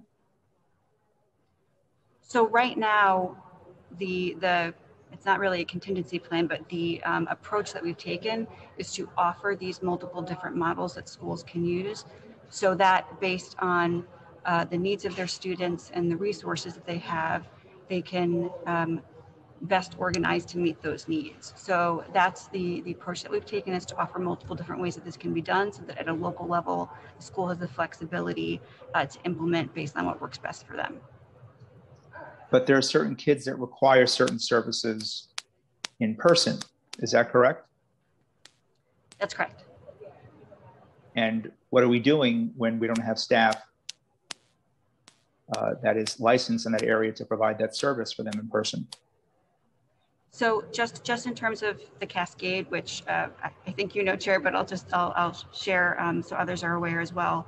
Um, if there is a particular service where a particular license is needed and that expertise is not available at the school level, um, the school can, from a, full-time staffing perspective, then go to the district level, uh, open up the posting there, and then uh, just to take related services as an example, if uh, an occupational therapist is needed, just as an example, um, and there isn't one available in the school or the district, um, we do also then have contracted providers who we work with uh, to deliver that service to make sure that the right staff um, is delivering the service to those students. It, sounds to me, Lauren, that we're again letting the budget define the services our kids receive rather than the budget being shaped by the, the, the needs of our kids. But I would be mindful of my colleagues' time. Councilmember Rosenthal, I know you have you have questions you want to ask. Time starts now. Thank you so much, Chair Treyger. And actually, I just want to follow up a little bit on your point and connect it to what Councilmember Dinowitz said um, just prior, which is the link between salaries and people leaving the system in droves. Um, I don't know if anyone listened to, but I would urge you to listen to a wonderful New York Times uh, daily podcast from yesterday and the day before on the state of education around the country.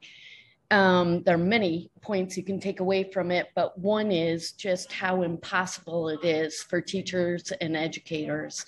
And we have to acknowledge that. And, you know, Deputy Chancellor Wallack and everyone from the DOE who is here right now, you know, this this whole situation is horrible. It's one horrible thing after another.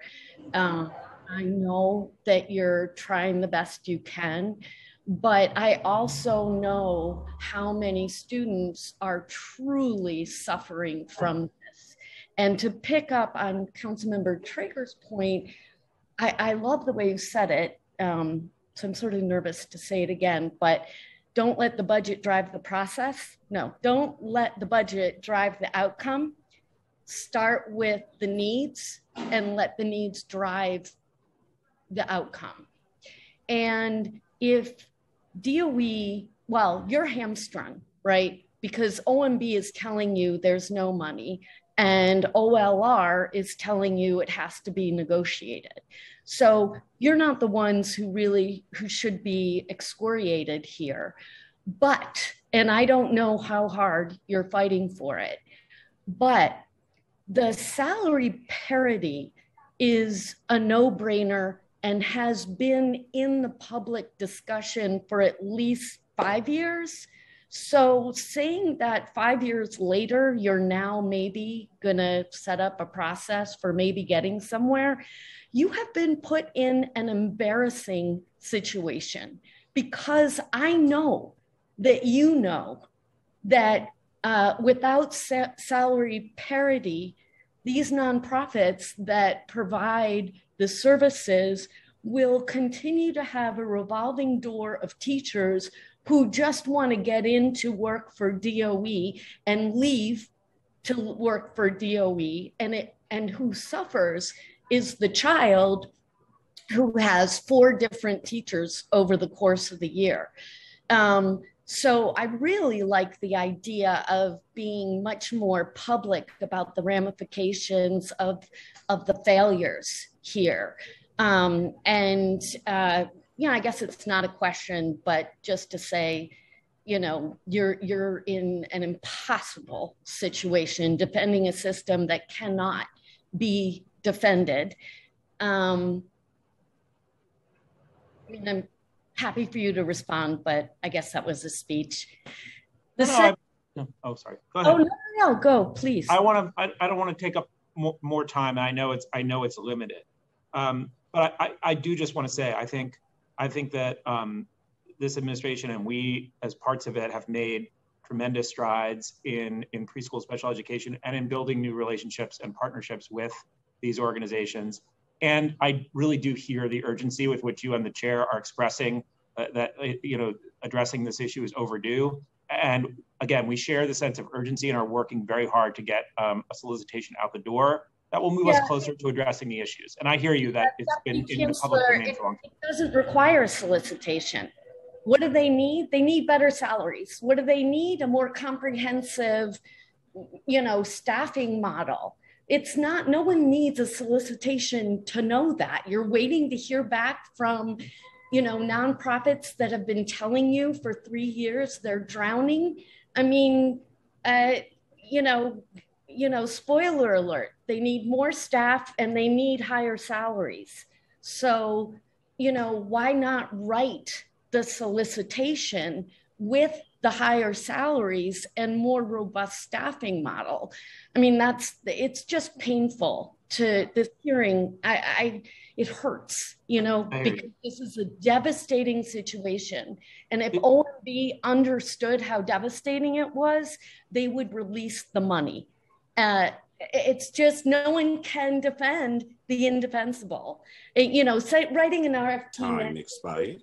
Okay, so here's my second question, Chair, that I really meant to be asking about. Um, sorry. Uh, I just, I, uh, we passed local law 2020, which requires DOE to release the first annual report on special education settlement agreements by November 1st, 2020, and the second annual report by November 1st, 2021. So the DOE has not published either report. We don't know um, why or what stage of the process each uh, lawsuit is at.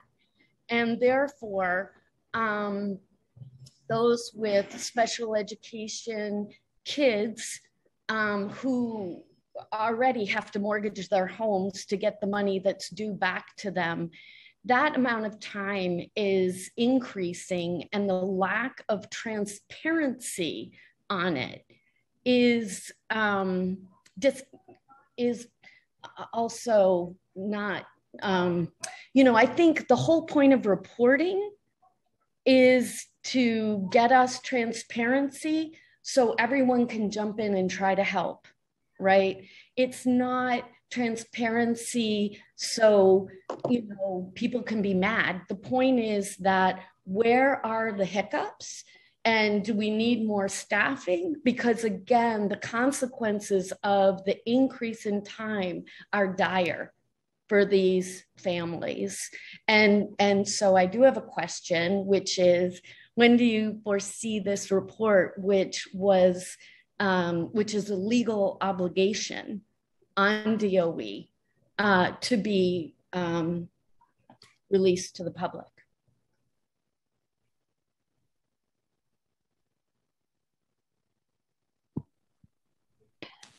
Thank you for the question, Council Member. Um,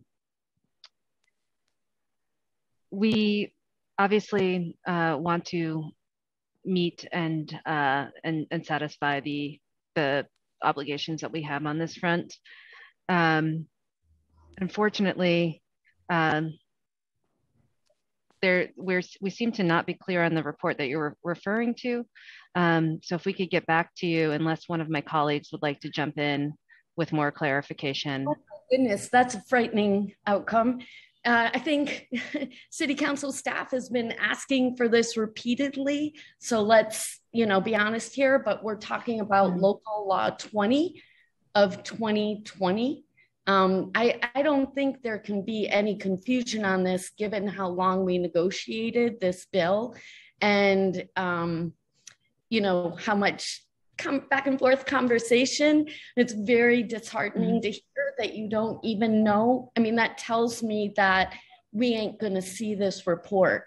And and this is such a simple transparency bill. It's a transparency bill where all we're asking is whatever on your dashboard that you can see because obviously you have to track this stuff that you make it public. So look, if you don't even know about the bill, then that tells me your lack of interest. I, I don't know. No, no, council member, I, I, apologize. Let me clarify. I just personally am not involved with the bill. So I was inviting one of my colleagues to clarify.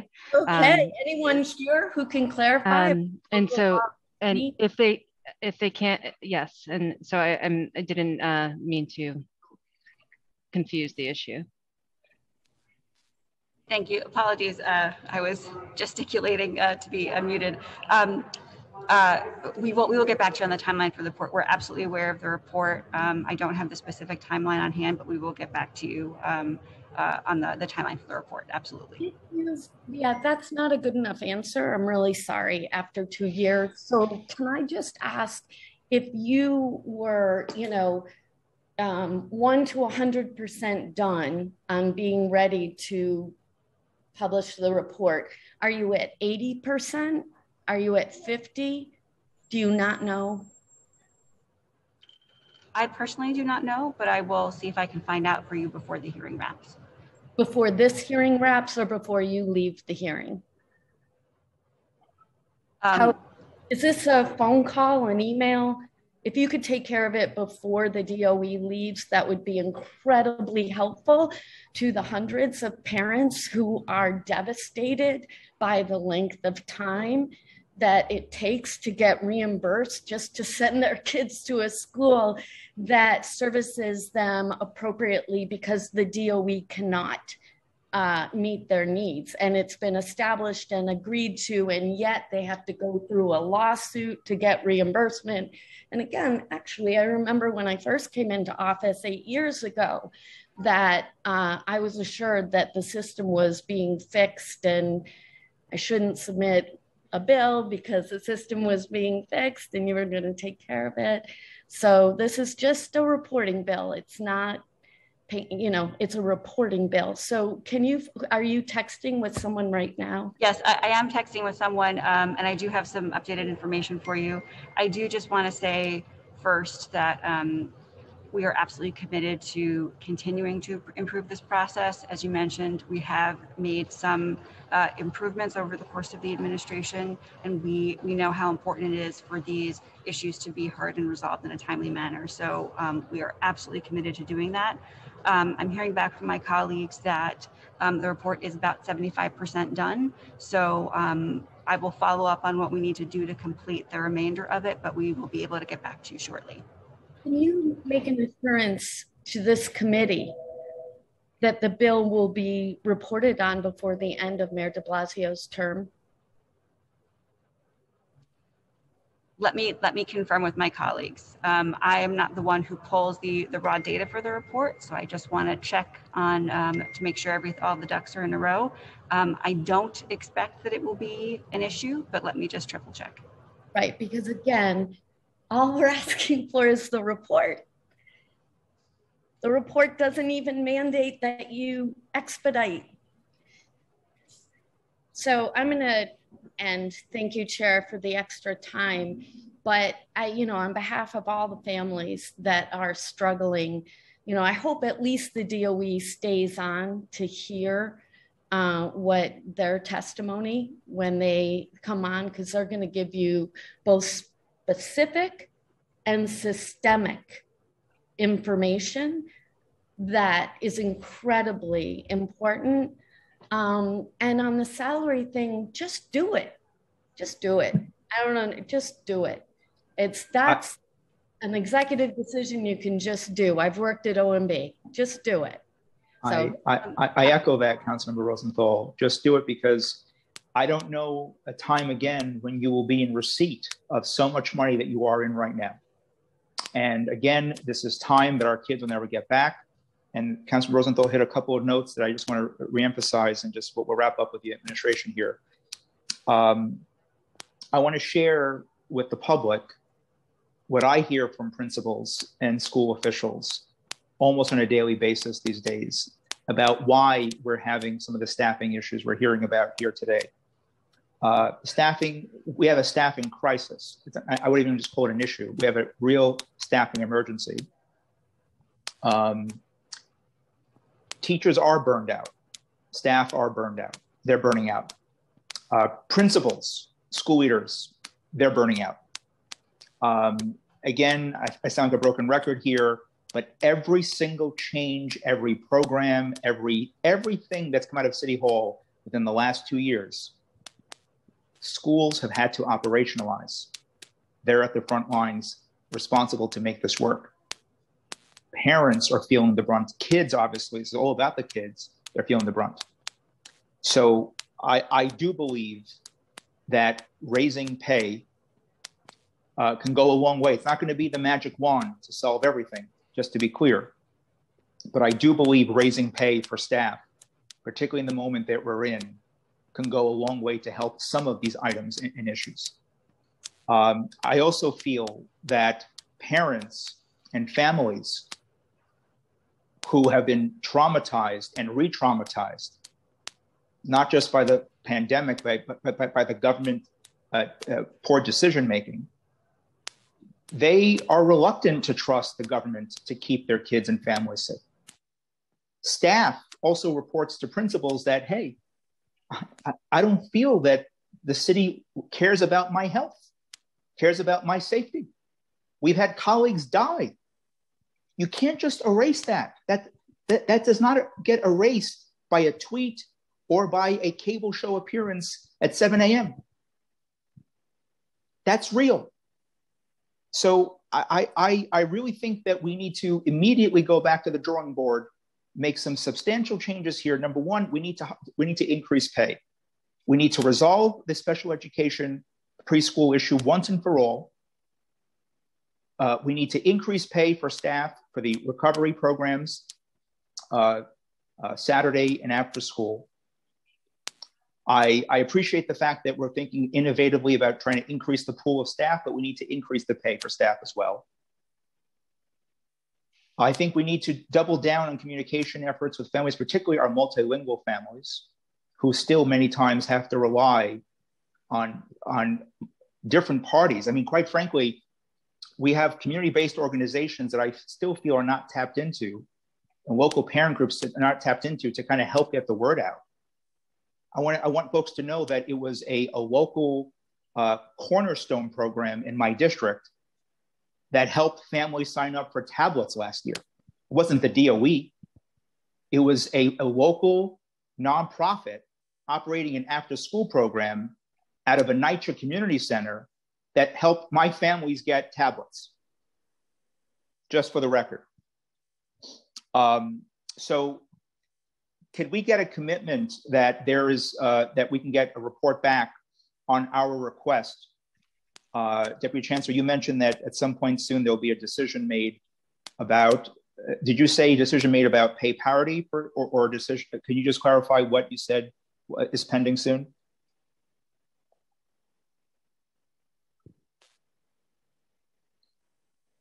Can we unmute Deputy Chancellor Wallack, please?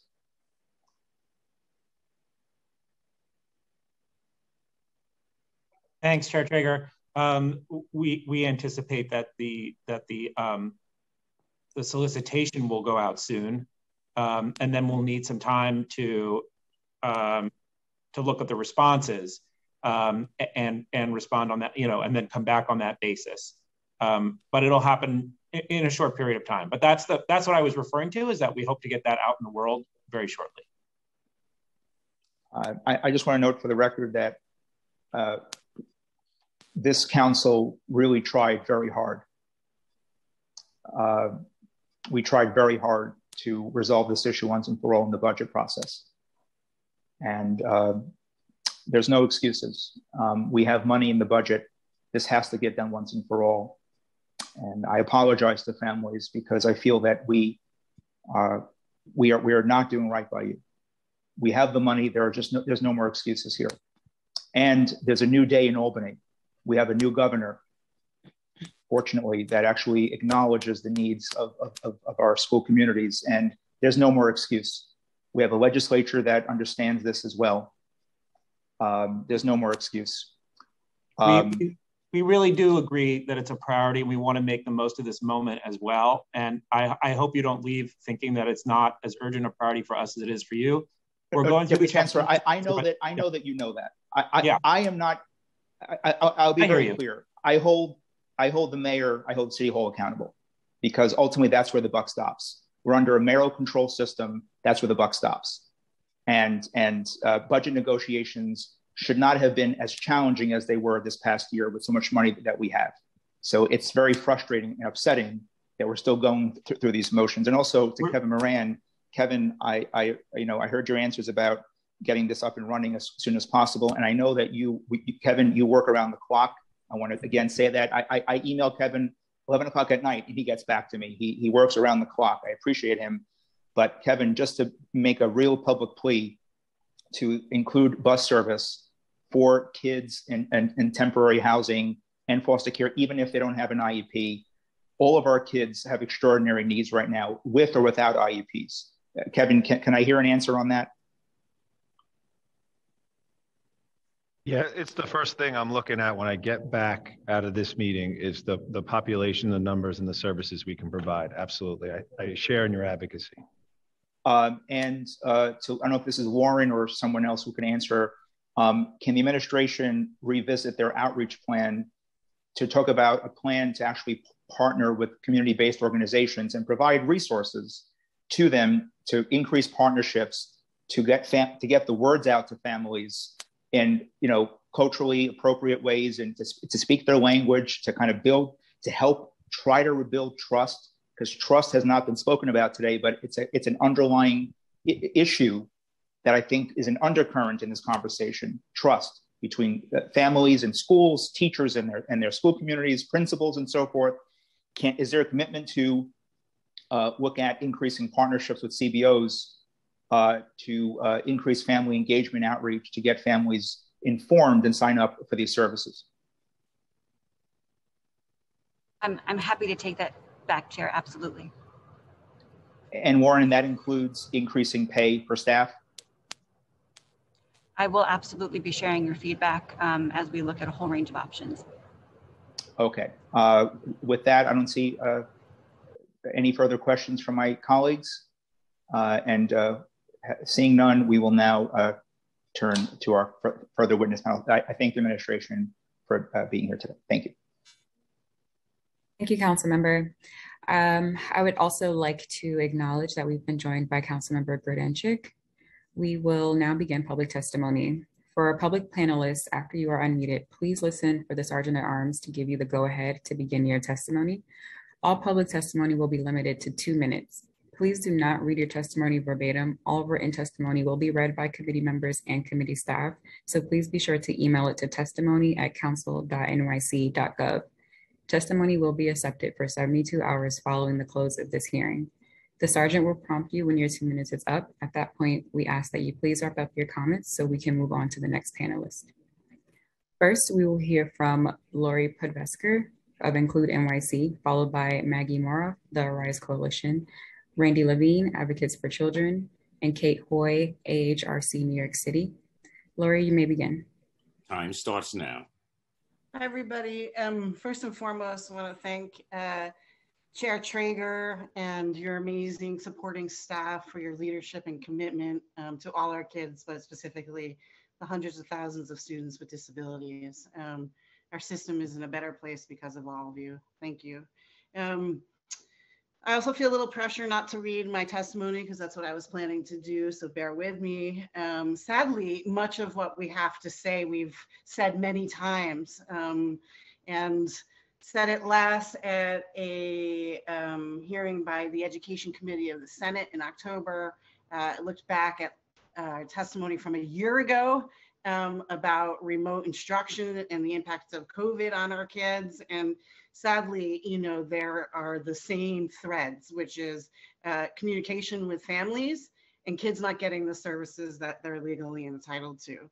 Um, you know, prior to the pandemic, we've known there have been um, long inequities between general education students and students with disabilities. There was a 32% uh, difference in graduation rates um, the last time we uh, have data. Uh, COVID has only worsened existing problems um, and many of our students did not receive a quality education the last 20 months. We appreciate the city's overall academic recovery plan and specifically their special education uh, recovery services initiative. Um, but with the date put, pushed back till December 6th, it's unacceptable that the city continues delaying vital services to students with disabilities to which they are legally entitled to and to first initiate these services three months after the school year begins. The intersection of these uh, extra special education services and how students will receive missed services, also known as compensatory, still remains unclear. We urge this committee to clarify how students receiving these extra services and their families will be protected under the federal Time expired. law, the Individuals with Disability Act, since they're not funded through IDA, but are funded through a stimulus package. Um, I know I don't have a lot of time, but I think it's very important that history does not repeat itself, um, like what happened in the summer with Summer Rising and alternative transportation options being provided to families after it started and after decisions were made. Um, we urge the city to release that information now proactively and before um, programs start, whether they're blended or uh, in person. Um, we also want to highlight, you know, the persistent staffing shortages that we've already been talked about. Um, this includes school-based positions, uh, certified special ed teachers, related service providers, nurses, social workers, and we also need transition counselors still. Um, very often we don't talk about transition counselors, but there has never been a more important time than now. Um, you know, I think about these services for my own son who's 19 and sadly, you know, I've given up on the quality of instruction or as academics, but there is value in these services being in person, not only for the therapeutic aspect of it, but also for um, socialization and soft skills. And, you know, this was one of the few opportunities the city created for inclusion and that small group instruction could be provided to both general education students and students with disabilities together. But now that you know, the majority of these services are going to happen remote or uh, blended, it's a missed opportunity. Um, and again, these are opportunities for kids like mine and the hundreds of thousands of other students with disabilities to gain skills that'll help them become employed and integrated into the community. Um, I've rambled. I just want to say thank you so much. Thank you, Lori. Next, we have Maggie Moroff. Time starts now. Thank you. Um, good afternoon. I'm here today on behalf of the Arise Coalition. My written testimony covers special ed service delivery and makeup services, but for my time today, I'm just going to speak to the latter. Um, like Lori, all of this is going to sound very familiar. Um, because of the pandemic, students with IEPs went without many of the services that they needed to make progress uh, during the last um, 20 months. In fact, many saw serious regression of previously obtained skills. And in the response, the city announced the recovery services that we heard about earlier. So while the details around those and compensatory services, which are different, will overlap, remains unclear, it's important that the DOE begin providing some of those services now. We know that some schools are doing it, but they're not all there. Um, and they won't be for another few weeks. We want to flag five concerns around the rollout of those recovery services that need to be addressed in order to re- render the additional supports successful. Um, in, in most schools, as you, Chair Treyger noted, recovery services won't begin until next month. Next month, it should go without saying, but every day that passes widens the gap between students with disabilities and their peers. Um, those students need their services ASAP. Um, there's also been huge inconsistencies in communication with families from school to school. Um, we heard um, Deputy, uh, we heard Christina Foti talk about how important family communication is. It's really, really important, um, and parents need to have the chance to help determine the extra support that their students will receive and that they require. It doesn't feel to us on the outside like that's happening. Uh, the recovery programs need to offer targeted, effective instructional interventions. So we were all told earlier that there would be literacy and math teachers at each school trained in evidence-based interventions, Time but that's been walked back. We're hearing that that's been compromised and that's not okay given what these services are supposed to do. Also, as you noted, um, prior to today, no busing had, had been promised for students who remain at their schools for recovery services without it without transportation attendance will be impossible for many. Um, i heard kevin moran on busing and christina foti on alternative transportation services earlier and hope that um, what they said means there will be transportation services and that that's clear to families now as they're making their choices about whether or not to enroll their children in the recovery programs. Um, we're going to be watching closely. I'm guessing you will too. Um, this is a citywide initiative, but details have been left very much to the schools. We know that some of them are going to do this better than others, and that students at schools with less resources or commitment will suffer just as they did before the pandemic, just as they did during the pandemic. Somebody from up high needs to be monitoring how the schools are doing, how the students are doing, and make sure that the students get all the recovery help they need. I'm almost done, I promise. I also want to note that recovery services will be inaccessible or insufficient to many. And the DOE is, as, as has been said already, the DOE is legally obliged to provide students with disabilities with full makeup services, whether or not they're available through the Recovery Services Program at their school. I just want to finish here and join all the other voices in saying thank you to you, Chair Treyger, and to the rest of the Education Committee um, on behalf of Arise members and on my own behalf. Um, you've been great partners over these past years, and we really appreciate you. Thank you, Maggie. Next, we have Randy Levine. Time starts now for the opportunity to speak with you. My name is Randy Levine, and I'm Policy Director at Advocates for Children of New York.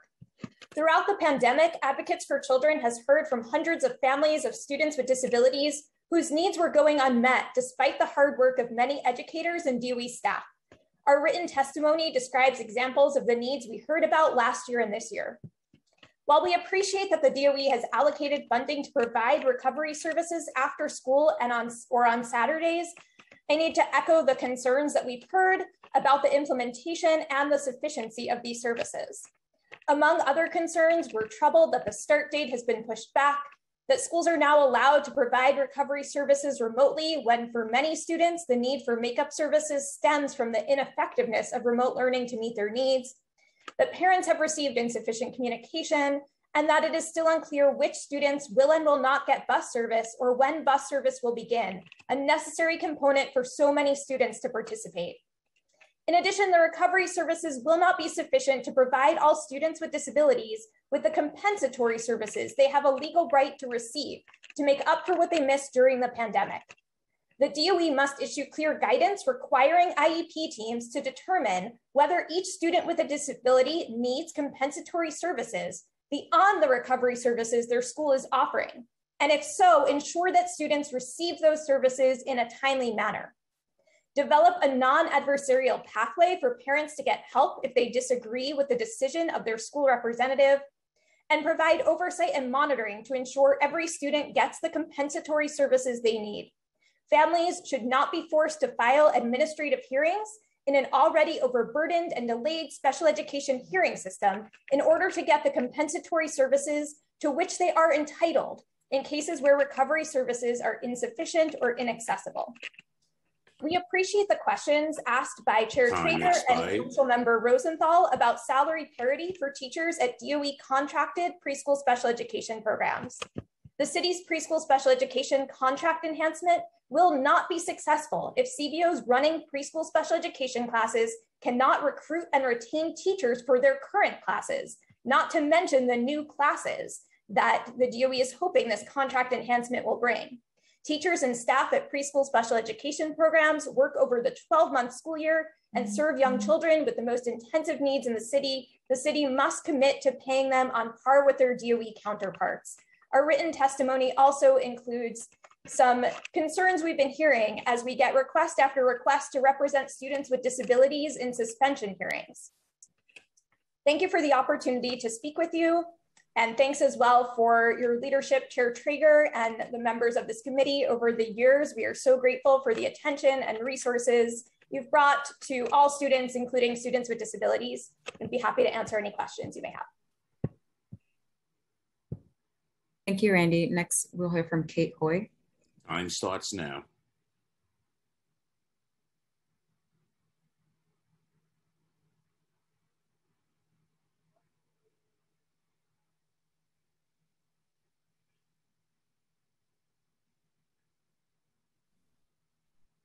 Okay, Kate Hoy, we will come back to you. Um, next, we will move on to Tom Shepard, Panel for Time. Education Policy. Time starts now.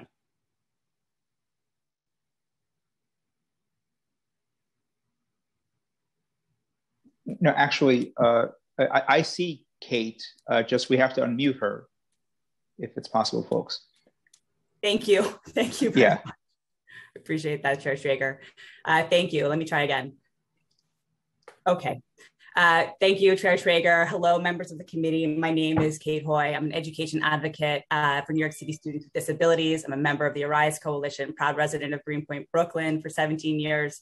Just want to highlight two items of critical importance for students with more significant disabilities, uh, equitable funding for 853 and 4410 programs, and salary parity for preschool special education staff. And thank you, thank you, thank you for bringing much needed attention to these issues today. I'd also just like to offer my support for the testimony that my colleagues offered now.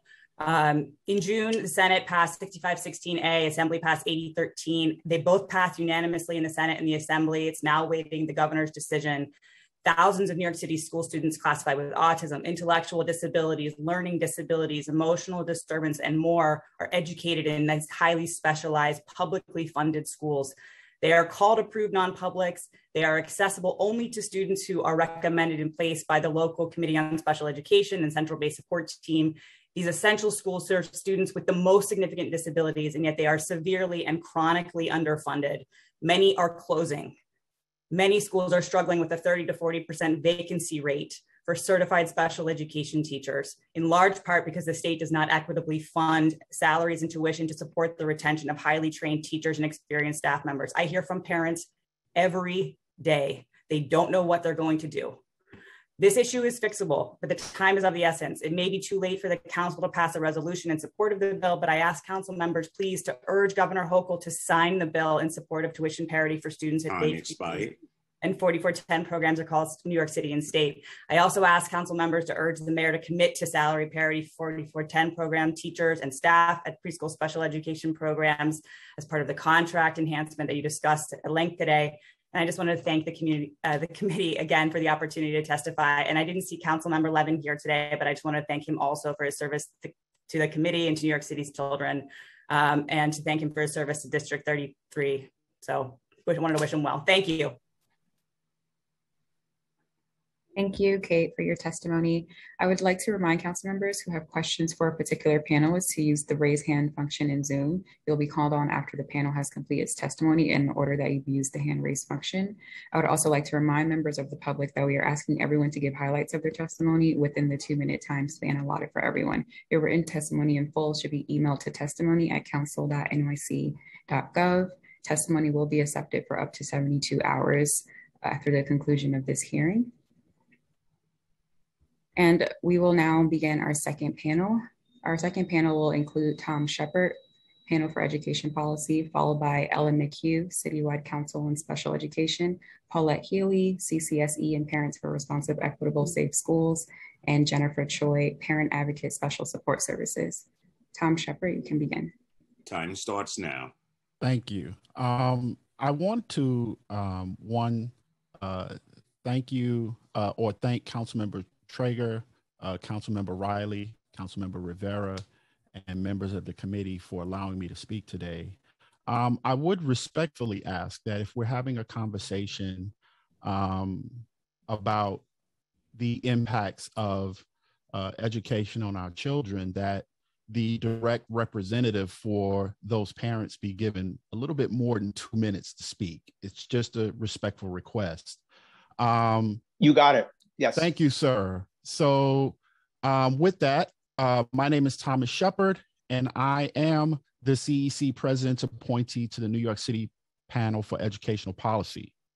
Uh, I wanted to thank you for allowing me to testify today. And I am here as a voice for thousands of parents across this city who have been demanding a remote option for their children since May 24th, when Mayor de Blasio announced on CNBC, by the way, that schools would be reopening in September with no remote option for students. I'm really sorry to sound harsh, but I've heard the DOE dodge numbers all morning. But I wanted to start with a really specific number 8,633.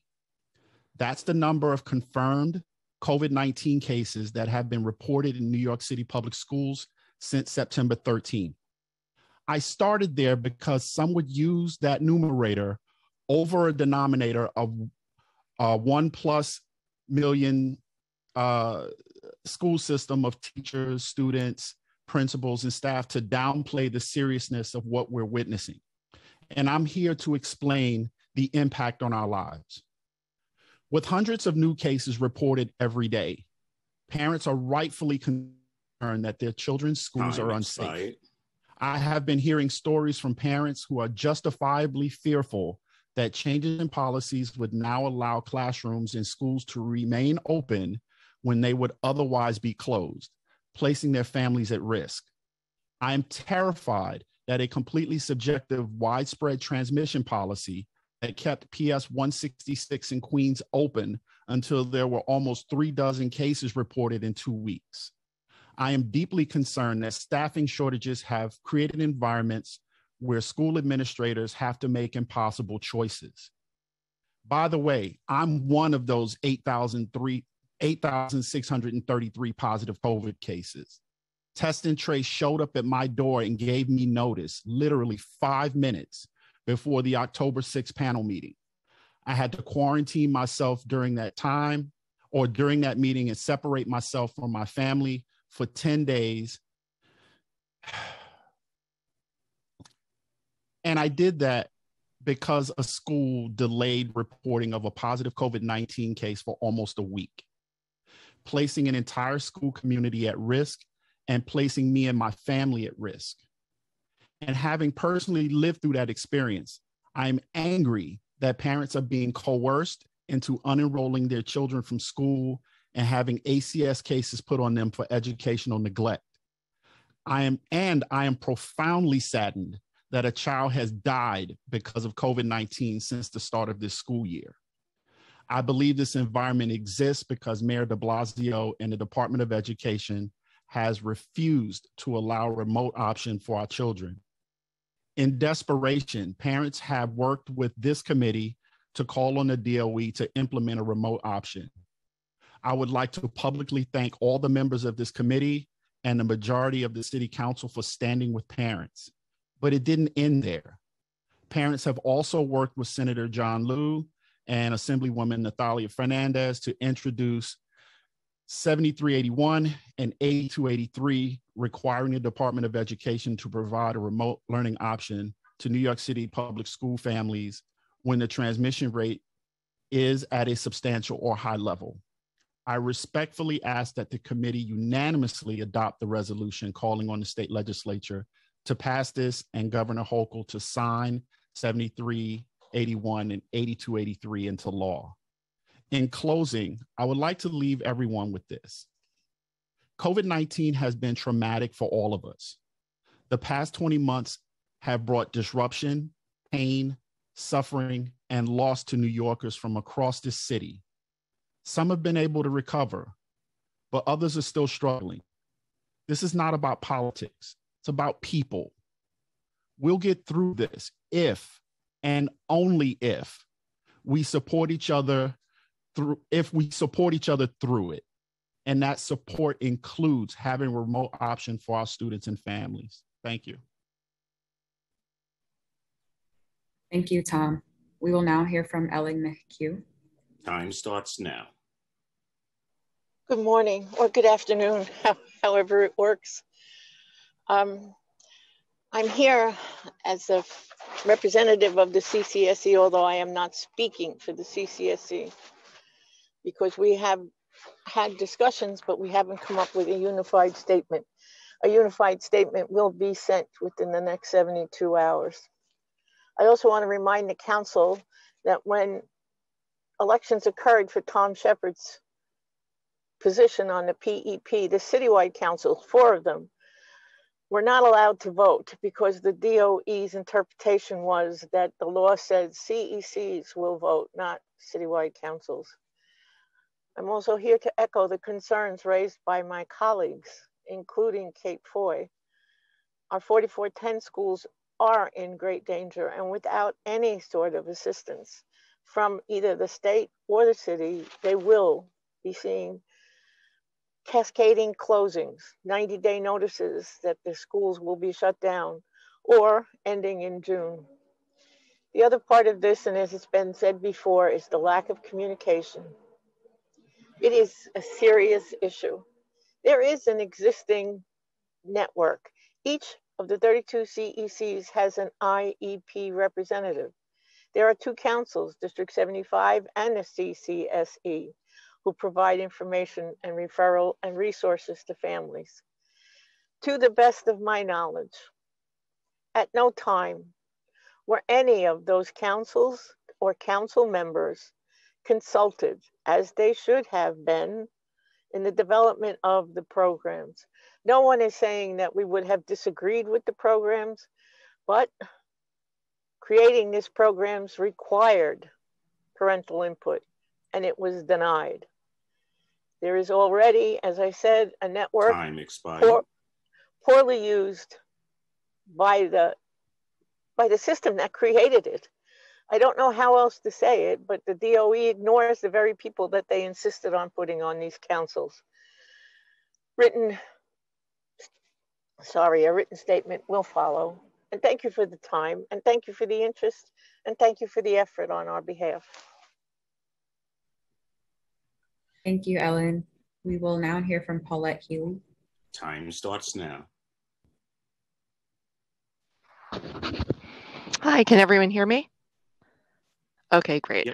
Um, I just want to start off by thanking Christina Foti and her team at the Division of Specialized Programs and Student Supports for staying on this meeting, unlike your colleagues who have left the minute um, the count, uh, our, our city council had no longer had questions for them.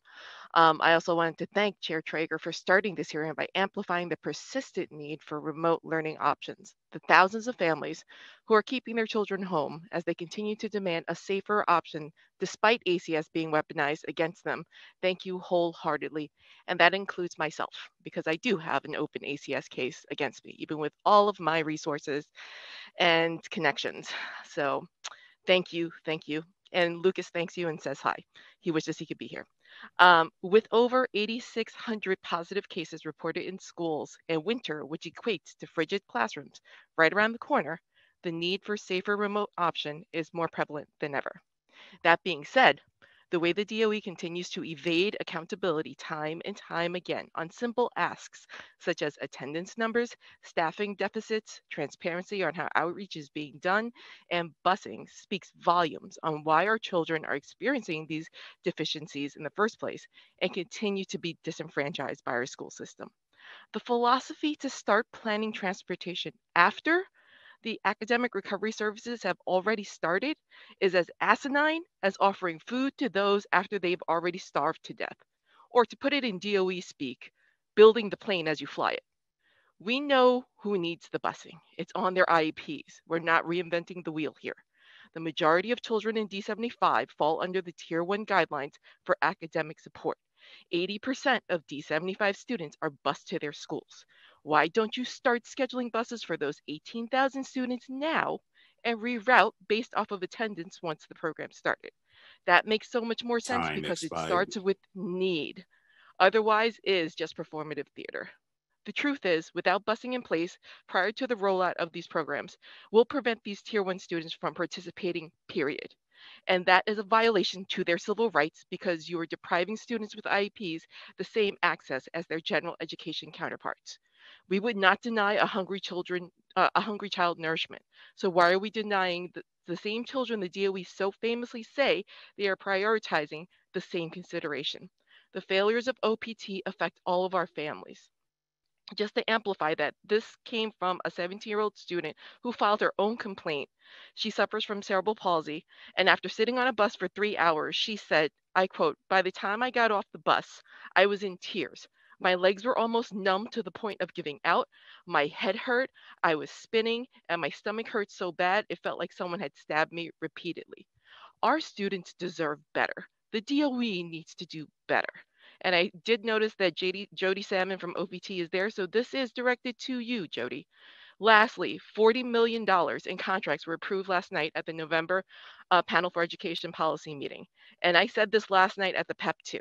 Hundreds of families are still waiting for reimbursement for transportation needs since the abysmal rollout of pupil transportation from summer rising and D75 summer session. Roll out those reimbursements. DOE do better. Thank you. Thank you, Paulette. We will now hear from Jennifer Choi. Time starts now. Thank you, members of the council and Chair Treyger. My name is Jennifer Chet. I am a parent of two autistic students with IEPs in, Queen, in Queens. I'm also a special education advocate with Special Support Services, a parent-led advocacy consulting group. Today, you are hearing a lot about the problems of special education recovery services. And for sure, I too am a parent of a student with an IEP that's having trouble securing these services. But I wanna tell you about one avenue of support that has worked um, and that has been the special education inbox. It's special education at schools.nyc.gov. Parents on the ground have been telling me that escalating their problems to this office has helped. And in some cases, a lot. Uh, it's not perfect, but you know, it does help. So I ask, I ask this office all the time for complaints about my own family or for my clients. It's actually way faster than filing a due process complaint. So um, this tells us two things, I think.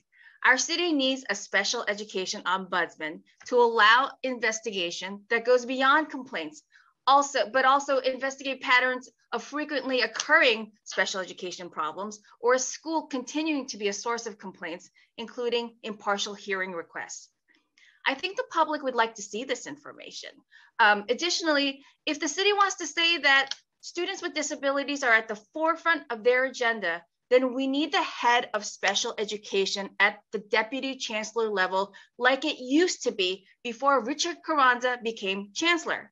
One out of five students have an IEP. That's not including the students with 504 plans.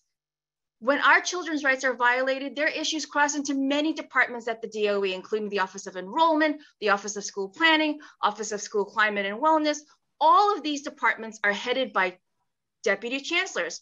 We need the special education office to be elevated back to the Time cabinet expired. to ensure that the $236 million for compensatory services not go to waste, the IDEA is being enforced without parents having to hire a lawyer, and most of all, that our children's dignity is protected. How schools treat children with disability tells them how much they're valued in the city. Thank you. Jennifer, I want to thank you because I couldn't have said it better. Uh, I had submitted a resolution, some folks might remember a couple of years ago, calling for exactly what you've just said. Uh, someone in DOE, and I, I'm open to titles, and but my main thing is someone at DOE at the senior level with power and authority to cut through red tape to go to any office in DOE, whether it's OPT, whether it's general counsel, whether any office in DOE, and get things done for our children, while at the same time inform parents proactively, not reactively, of their rights and the responsibilities of DOE. This has been uh, an issue plaguing uh, the DOE for years, and and the former chancellor said to me, because we discussed this resolution, because of mayoral control, I don't have the power to force them to create it, which is which is really a shame. But he said to me, Chancellor Carranza, that Councilman, I believe that everyone is responsible. And I come from the school of thought that if everyone's responsible, then no one's responsible. You need a point person, clear chain of accountability uh, to, to get this work done. So I, Jennifer, I could not have said it better myself, thank you for that testimony and really appreciate you being here today. Thank you. Thank you. Thank you, Jennifer. That concludes this panel. We will now hear from Michael Mulgrew of UFT. Time starts now.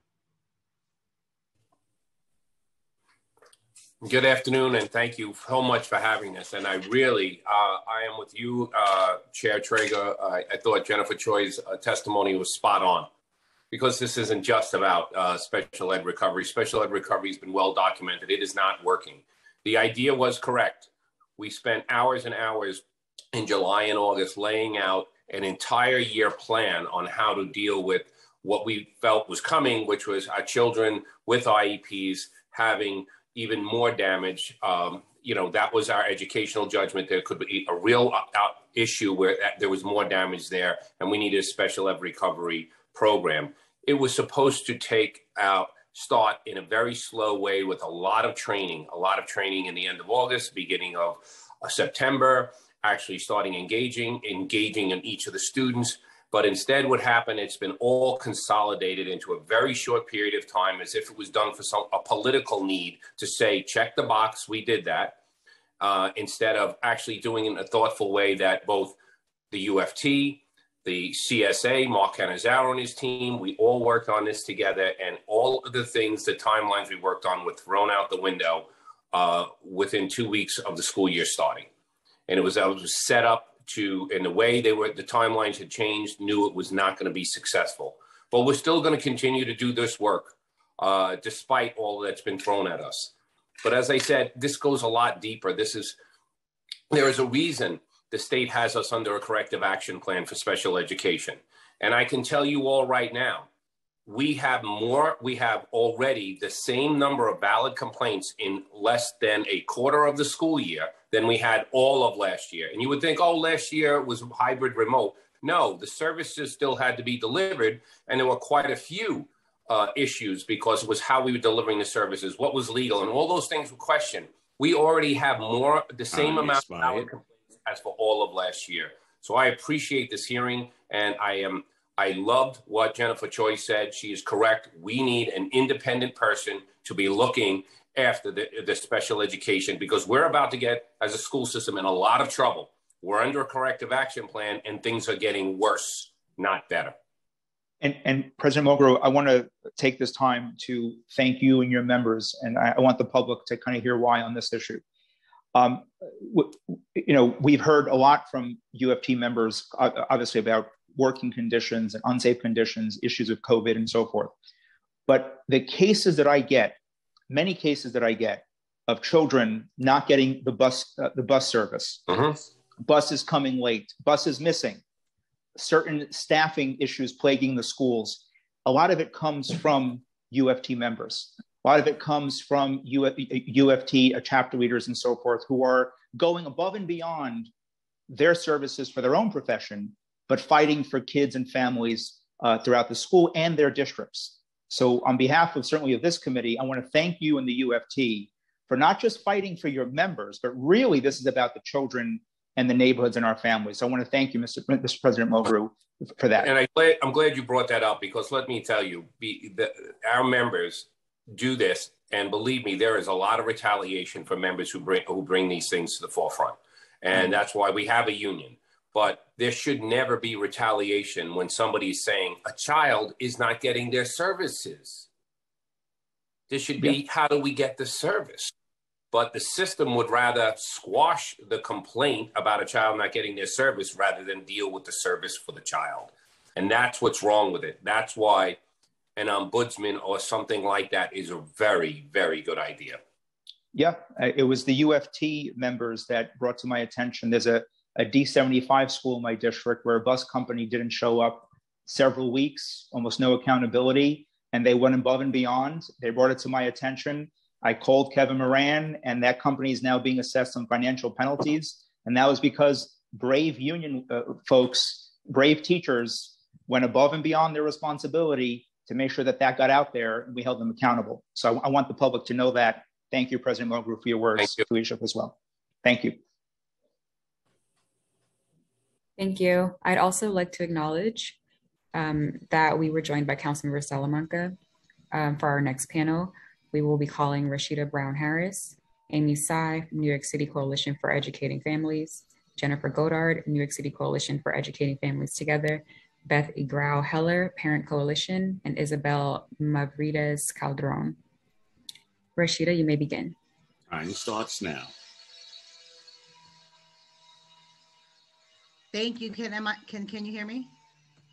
Yes, thank you. Thank you. Good afternoon, everyone. Rashida Brown Harris here. I'm a parent leader, equity and education advocate, and a proud member of the Healing Center Schools Working Group. Thank you, Chairman Treyger. Um, I don't have much to say, y'all. We've been around this rodeo over and over. I'm starting to feel like it's just, you know, Groundhog Day. Um, but I just, I, I needed to join in when I heard my brother Tom Shepard speaking, when I heard Ellen and Paulette uh, Miss Aaliyah, you know I was not on all morning. I was listening live stream, doing a million other things. But when I heard my people speak, I said, let me join in. I signed up to testify, and um, and I just really want to stress the fact that we really do still have families struggling. Um, a lot of children are struggling with returning back to school. Um, we as a society must do better. Um, our schools we need to reach out to these families and try to support and figure out what it is they're going through to really support them processing this whole return to school, return to society. Um, there's folks who are still just hunkered down in their homes, um, believe it or not, and just not out and about. But our babies need to get back into the schools. And if we want them back, we have to work with the families. We must um, provide counseling sessions for the parents and the caregivers and the children to help them process everything. We need the support for our school staff as well. We still have a lot of school staff in person, afraid and just full of anxiety, going through things. We must do better, as Paulette Healy said. Um, but while we're figuring it out, we've got to offer a remote option. There's too many of our children who are just home waiting, waiting, waiting. Families are waiting um, on the um, home, you know, instruction um, approval or reapproval. Um, it is not healing centered. It is not culturally responsive. Um, when we sit here and just say, back to school, that's it, no other option. So I beg you all to please continue to fight and advocate um, for a remote option. It is not too late. We're in November going into December. We can still roll it out. And families who are home we can get them to log in remotely so they can continue to build virtually. Um, but we've got to pro- pour resources into the services to help support and figure out, you know, how we can really, really help them um, understand what's going. We have there's a lot we all know, but thank you very much for listening. We've got to continue to fight and advocate for a remote option. Please you know, council members, whatever y'all have to do, whatever we have to do, we're here with y'all, and we just got to keep fighting for it. We just want that option for families who really want and need it. We've got to provide it. Thank you very much for listening. Peace. Thank you, Rashida. We will now hear from Amy Tsai. Time starts now. Good afternoon, um, City Council Member Treyger and members of the committee. I just want to say thank you so much for your advocacy. Um, I am a, a, vice president of the New York City SEFT. I'm also a CC member for our District 75 community for our students with disabilities. I'm also a mom of three of my five children who have uh, IEPs. Um, I I'm hearing all of the other parent leaders and advocates here who talk, you know, talk the desperate uh, dear uh, issues that our students are, are, going through with transportation and with uh, the academic recovery services and all of the other stuff that we need to make sure that our children are receiving uh, to meet their needs and their goals. Um, we are very close to almost two years. We're actually um, two year anniversary of COVID-19 um, being in this unprecedented time. Um, we need to make sure that we are not repeating the same that we are doing for summer rising. Uh, we are we want to make sure that we are not in the movement of continuous crisis, but a movement of uh, really making a recovery actually happen. Um, as we know, um, this is assessments of a plan to ensure that how many students will be able to be provided in the academic recovery plan, but yet there is no transportation for District 75 students in order to have access and opportunity to participate in this. And it's really unfortunate that to hear thousands of kids who are still not receiving a bus route or adequate uh, appropriate route to get to school on time and to leave on time um, to go home. And so, you know, we talk about two folds, one being the student transportation issue, and second is the instructions when we talk about meeting their needs, related services, um, daily living skills, working work programs that were lacked from last Time year. Expired. These are things that our District 75 are really in dire, and we hear that every single day. And we need to make sure that we are not just uh, you know making positive steps but really making change so that we are not stuck in this for decades. And as student transportation has been for decades we need an improvement. We need a plan and we need our elected officials to really come out and offer remote learning so that the access and opportunity are offered to these families to have an option. Again this is the time now to give the uh, academic recovery plan not to wait till January in order to have transportation. Right now, offer parents the option of remote learning. If these children can benefit after school or Saturday for remote learning, the maximum number of time, not just 10 hours for the entire three to four hour, three to four months, that's not enough. So I appreciate you hearing me today in this space. Thank you for your advocacy and your leadership and uh, have a good day. Thank you, Amy. I'd also like to remind council members, if you have any questions, please use the hand raise function in Zoom. I will now call on Jennifer Godard. Time starts now. Hello, can you hear me? Yes. Hello? Okay, great. Thank you. Um, I want to thank my colleague Amy Tsai from the New York City SEPT and thank Councilman Treyger and the city, city council members again for being advocates and I thank the DOE members who did stay on, and I continue to ask that they hold their colleagues accountable and say you need to hear what these parents and families have to say about our children. So I'm, I applaud the City Council also for the resolution and hope that New York State Legislature will pass them and the governor will sign the bill requiring remote learning option for any school district in a high transmission area. The remote learning option would solve so many of the problems that we've discussed ad infinitum in these uh, settings being in remote um, helped my medically fragile fifth grade son excel while remaining safe and receiving his mandated services from his IEP last year until this year when the mayor refused to offer the remote learning option. So he's been in medically necessary instruction that the DOE has provided since September 13th. And despite assurances from the DOE that this program would be expanded beyond the one hour per day of instruction that he receives, it has still not been expanded. And I've had to compensate for his learning loss by paying for classes through outschool.com. Um, and I only just recently received vouchers, me, the parent, to secure mandated services for him for his IEP. And only after I asked about these services, where are they? Uh, I've heard nothing about compensatory services, even though he's been in school 48 days and he's missing 15 hours of mandating services. And I'm very confused as to why, if he's in a DOE program, why he wasn't automatically being provided these services. Why wasn't this prepared? Why is it my responsibility? Uh, you know, in addition to the insult of a paltry one hour per day, now I also have to go out and look for the speech language therapist and the counseling and the. It, this is not acceptable. This is this is abysmal.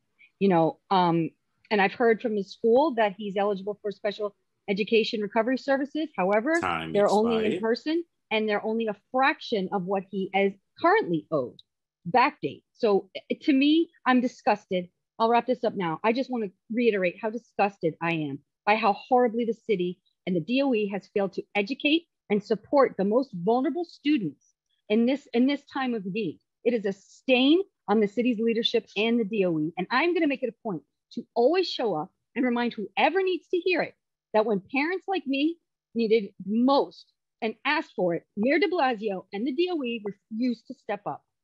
Thank you.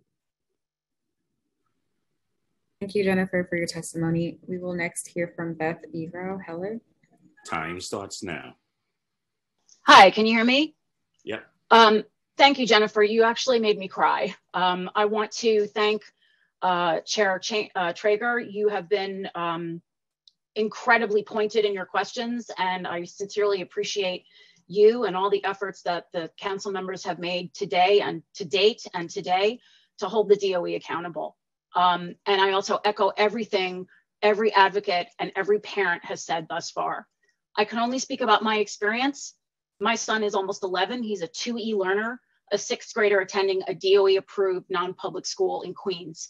We are profoundly grateful for his placement at this school. We were always worried about the distance of him getting there uh, where we from where we live in Brooklyn, and it has been problematic. For the past two years, he's endured 7 a.m. pickups, excessive ride times of two hours or more, routes with stops to disparate neighborhoods, recent changes to his bus route, Joe Faz 829. They've been myopic, benefiting one child while negatively impacting multiple children on the same bus. Recently, it's basically a proverbial game of whack a mole. And the route has since been combined with another. Because I'm a squeaky wheel and I have a history of being a squeaky wheel in uh, District 13, uh, I've documented the, uh, all of my problems with the OPT, the Office of the Public Advocate, everyone I can possibly find and think of within the DOE and OPT. Um, of course, his school administrators, I'm in constant contact with them. But I have to say, our dedicated OPT rep that our assistant principal deals with, I hate to say it, the man is feckless. And I don't say that lightly. He comes up with myopic solutions. There is zero communication and there is no escalation within the DOE. You get sent into a vacuum and have no idea who you can turn to. You feel as if you're screaming into the wind to just try and get your child to the school that the DOE has agreed to send them to to give them their mandated services that they are entitled to. I'll be quick, I promise. Um, so the latest solution is that I was offered Ubers to school by Limosys, which is part of the Access-a-Ride. I can't tell you how frustrating this is and how much money it wastes. Um, not only am I dealing with a different car every day, I'm getting into a different Uber driven by a different driver. They can refuse the drive, uh, the, the call and not show up. Or I'm dealing with a car service, don't know where they're coming from. Generally speaking, the drivers have been great, but I had one without a mask. I had one who was a dangerous driver and his car was filthy. Not to mention, I have to go with my child. I have to be in the car on four legs there and back twice a day. I spend four to five hours in the car and I cannot pursue my livelihood, which I was not able to do during COVID because I'm a freelance photographer. And now I can't pursue it. I had hoped to do that since he is now able to get vaccinated. So I am not able to make a living in the way that I choose. So there's safety, there's my inability to work. There's also excessive cost. There was a no show uh, just yesterday afternoon, stranding me in Queens. I had to call an Uber myself. Unfortunately, I have the means and ways to do that. It cost $60 before I gave the driver a tip.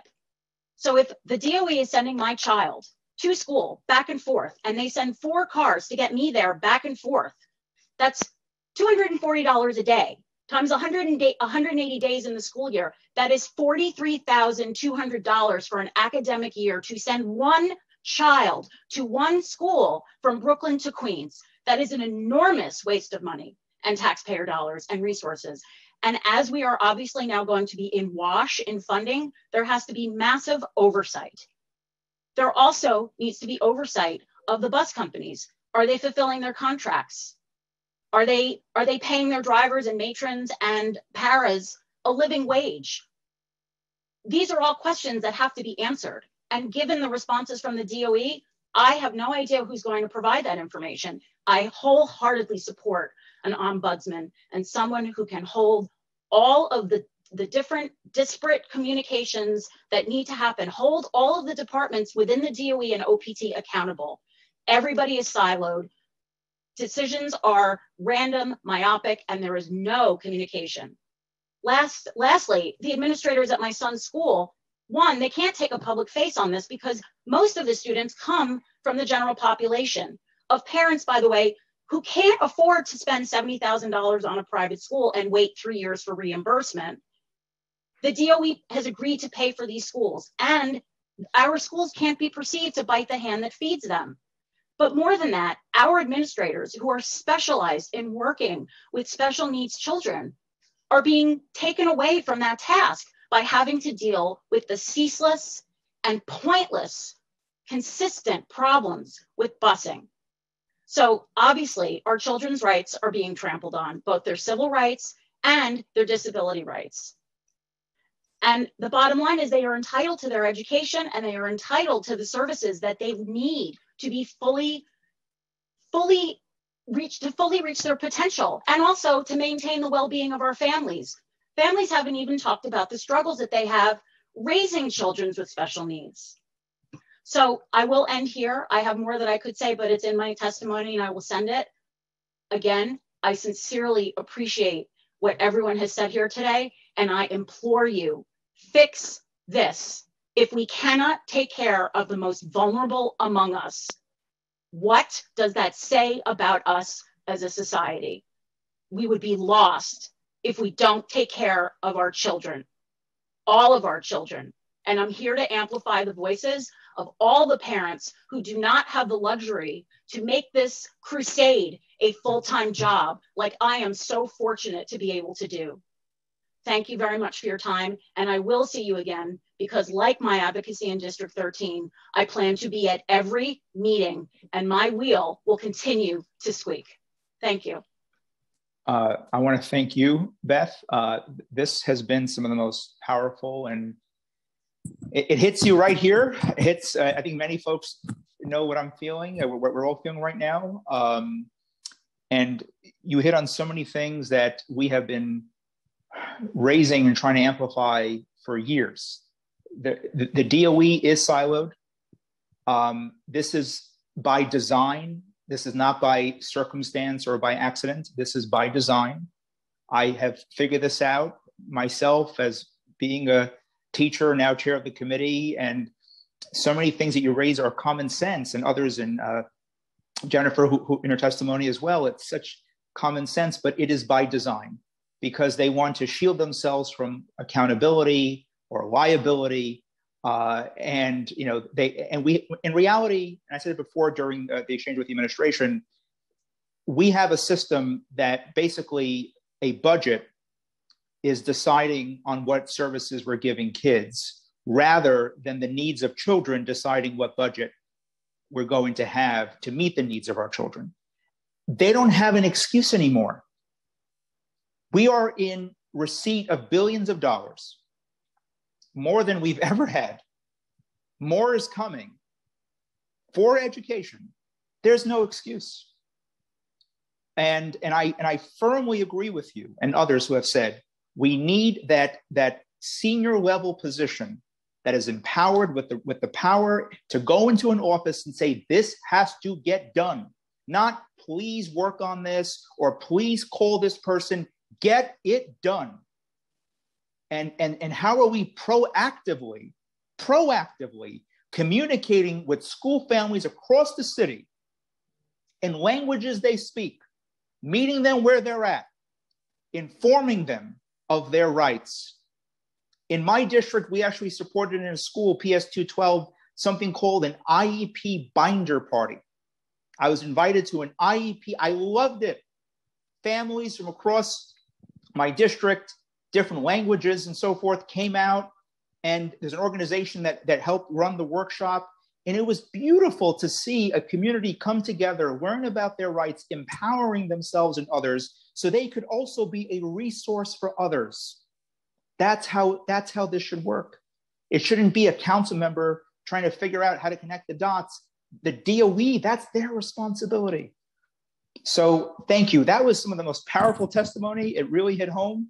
I want to thank you very much, Beth. And please keep showing up, keep speaking up, because we hear you and, and we we will get this done. I, I am I'm a believer that we will get this done. Thank you all. Thank you. We will now hear from Isabella Mavrides Calderon. Time starts now. Thank you so much for having me, and thank you so much to Chair Treyger and the Committee on Education for holding this incredibly important hearing. I'm Isabel Mavrides Calderon. I work for the nonprofit Patients Rising. I'm a disability rights activist, but most of all, I'm a high school student that lives with chronic illness and disability myself. I strongly support the resolution to keep a remote option during this pandemic but I also believe that we need a remote option beyond this pandemic for the sake of accessibility. Before this pandemic, disabled and chronically ill students would have to miss incredible amounts of school whenever they were hospitalized, whenever they had surgery, whenever they were in a doctor's appointment. And then suddenly during the pandemic, we got accessibility and we were able to join school and zoom in and have this accessibility we never had before the graduation rates for disabled students are much lower than non-disabled students. And this is partially because they don't have an option to be with their classmates and peers. But remote learning, we got that. But now we're reverting back to our old patterns and we are ripping this accessibility away from disabled students. What they're getting now, home education, hours of school completely separate from their peers, is not the least restrictive educational environment. IDEA mandates disabled students are educated alongside non disabled students to the maximum extent possible. And this is not what's happening anymore. Before we now know that there is a better option. We know that we can have remote or learning. And by not providing this, we are not following the spirit of IDEA with long haul COVID and disabled student and more disabled students coming up, their disability is just going to increase with this pandemic. And now more than ever, we need to be supporting the most vulnerable students. We need to keep remote options. We can do better. We know this is possible, and we are leaving behind the one in four people who are disabled by not keeping remote option permanently. Thank you so much to all the parents advocating, everyone here. Your testimonies are so powerful, and this is how we are going to make change. Thank you. Thank you, Isabel. That concludes this panel. Again, council members, if any of you have questions, please use the Zoom hand raise function. We will now move to the next panel. It will include Jennifer Rodriguez of Collaborative for Inclusive Education NYC Charter Center, Shade McCall, Opportunity Charter School, Jacob Kapustin, Knowledge Road, Gianna McGinnis, Lauren Clavin, and Eileen Izari Ramirez. Jennifer, you may begin. Time starts now you. Good afternoon, Chair Treyger and members of the City Council. I'm the Inclusive Education Specialist at the Collaborative for Inclusive Education within the NYC Charter School Center and a career special educator. Thank you for the opportunity to present testimony today. Currently, we have 272 charter schools representing over 26,000 students with IEPs. The DOE is the LEA for NYC charters. Currently, the DOE contracts with agency providers that work directly in charters to provide related services. While there have always been shortages, the pandemic has exacerbated this.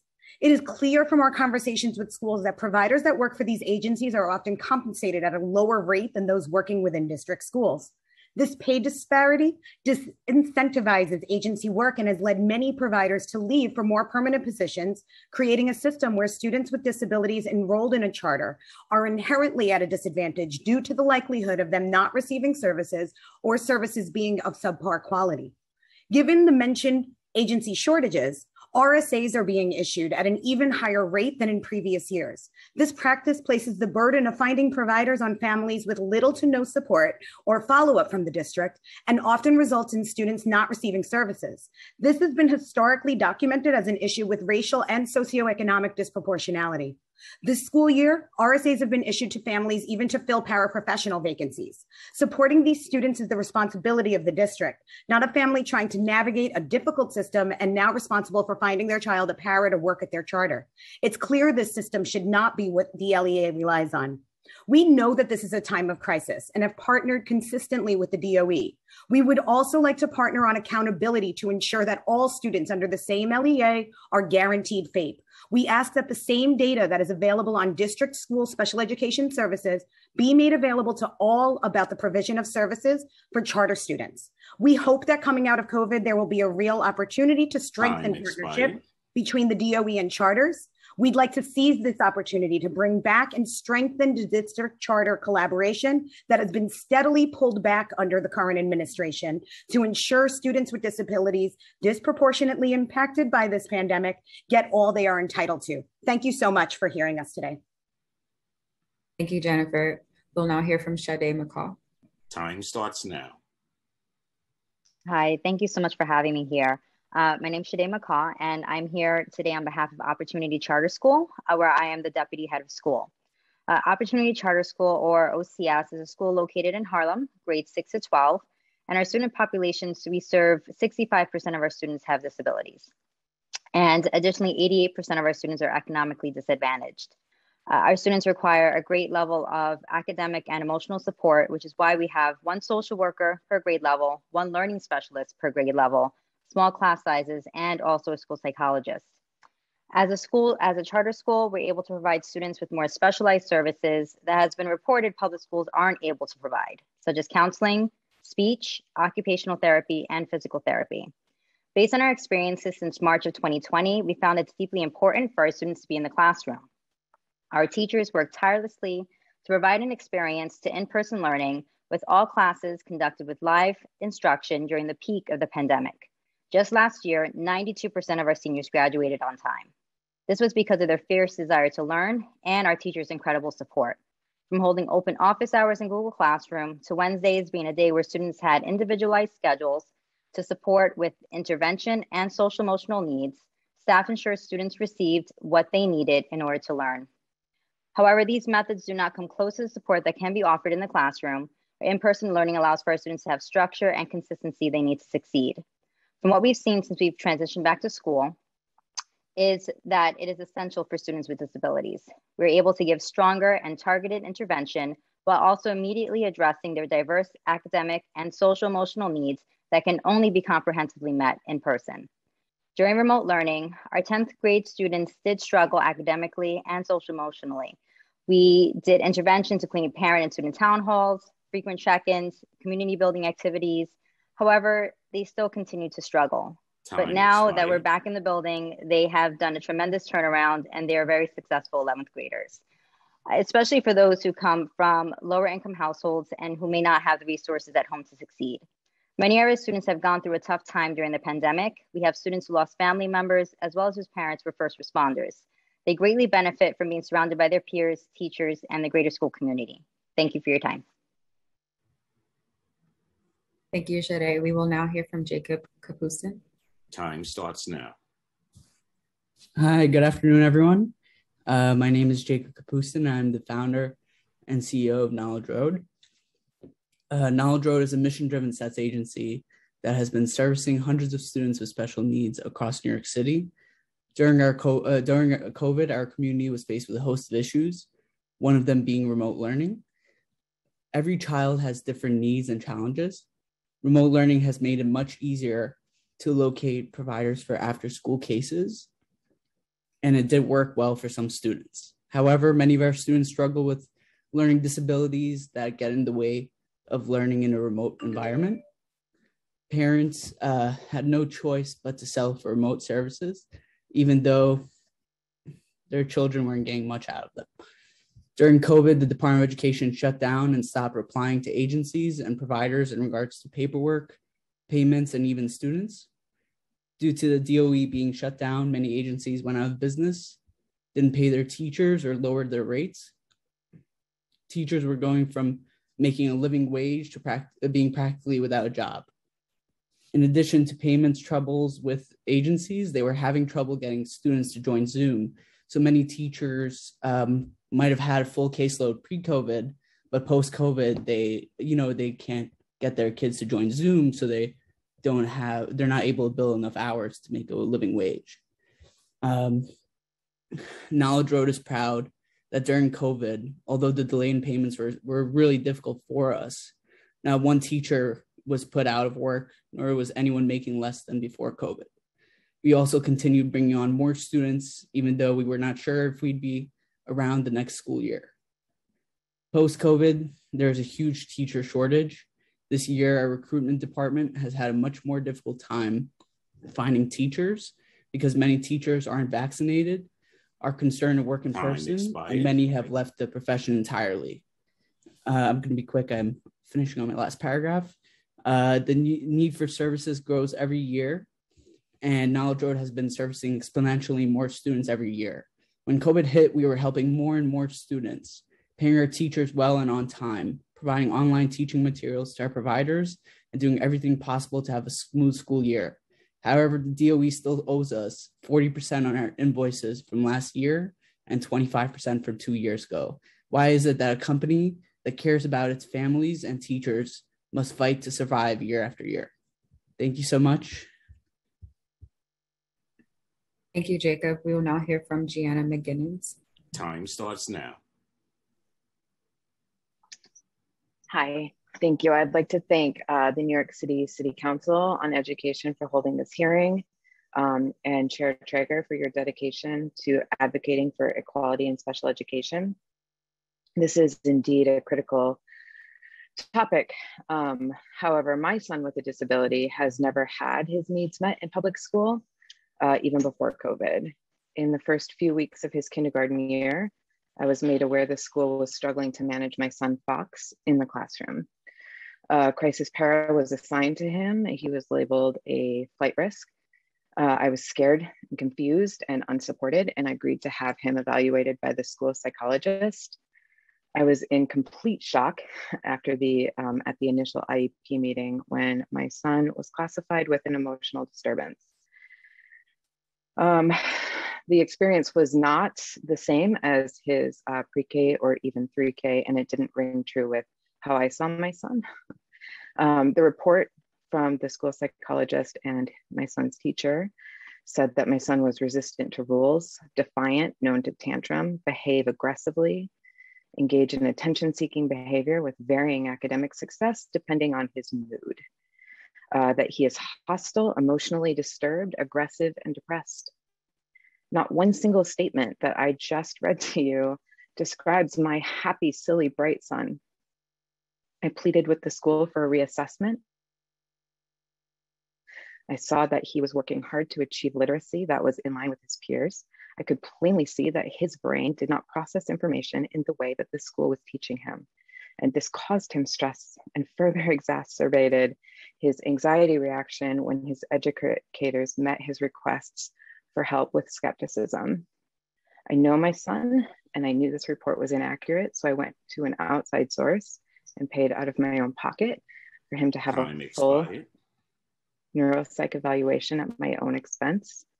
Uh, the independent assessor reported that he found Fox friendly, cooperative, engaging, and well related. Ultimately, the assessment and subsequent assessments have diagnosed my son with dyslexia, not emotional disturbance. The examiner found that when my son was presented with a literacy skill that he felt he should know, that he had recognized that his peers knew, he became anxious and frustrated, which is apparently perceived by aggression. Um, in in was in his school. Speaking specifically to academic recovery, my son, um, my son's IEP goals were set while he was still in kindergarten, and while he still had the um, the incorrect classification, he's now in second grade and appropriately classified with a learning disability, but we haven't updated his goals. There hasn't been a reassessment. So when the administrators were assessing data to assign him for academic recovery, they had inaccurate information and they placed him as low priority um, because he's met his kindergarten goals. this is not an accurate representation of the academic gap, which has significantly widened in the remote setting. This is absolute, there's absolutely no urgency in the process that is absolutely critical, particularly at this young stage of his academics. Um, as you know, New York City has roughly 200,000 students with disabilities. Um, 5% of these students are labeled as emotionally disturbed, which is categorically stigmatizing on young students with support needs. It will undoubtedly follow their academic careers potentially beyond their academics. Um, in this classification, 50% of students identify as Black, 38% identify as Latino or Latinx. This is alarmingly disproportionate. Labelizing already marginalized students with a classification that is stigmatizing only enforces current patterns of racism and oppression. Black and brown boys that are struggling in our school system are labeled as bad. If my son had white skin like I have white skin, I wonder how hard I would have had to advocate to get him support for his language disability? How can special education needs be met when we don't have accurate, unbiased assessments? Thank you for your time. Thank you, Gianna. We will now hear from Lauren Clavin. Time starts now. Uh, hello, everyone. Uh, thank you, Chair Treyger, um, and the rest of the council members. I'm not going to read from my prepared statement. A lot of it I've said here before, and um, my fellow parents today said what uh, I wanted to express about the need for a remote option. Thank you, Tom Shepard and Paulette Healy and Amy Tsai and Rashida Brown Harris. And thank you, thank you, thank you to the student disability rights activists who showed up here to speak. Um, I don't know if anyone from the DOE is still here um, Ms. Foti, if you are here, I hope you listened to what that student had to say. Um, that is who you all say that you are prioritizing the needs of. And she is saying that she wants a remote option. And she said it brilliantly and very clear. And um, just quickly, I- I'm a parent of two children. I participated in the uh, strike for safe schools. I have a child with multiple disabilities and an IEP and uh, underlying health conditions that um, made it impossible for me to send him back to school this year. And um, I want to thank Jennifer Goddard for illustrating, unfortunately, why I didn't even bother applying for the home instruction option. And I think what she shared um, shows why that doesn't work. So thank you for sharing your story. Um, and I'm currently uh, no longer actually enrolled in uh, a DOE school. My children are, are no longer enrolled in, in, DOE schools because it was made very clear to me um, with, you know, subtle language that um, there would be uh, an ACS call made if I didn't return my child to school. And as a former foster parent, I've had enough contact with ACS to know that I didn't want to invite that again. And I really want to stress here to anyone that has never to anyone that has never had ACS involvement in their home, you cannot understand the terror, the absolute terror that it inflicts on an entire family, the trauma, the emotional abuse that occurs at the hands of people who, who call themselves uh, representatives of, of child welfare, which we know that they're not, but that's a different story for a different committee. Um, so I felt that I had no choice but to unenroll my children. And I'm now homeschooling, which is not something that I had I had wanted to do. I want my children to go back to school. As I said, um,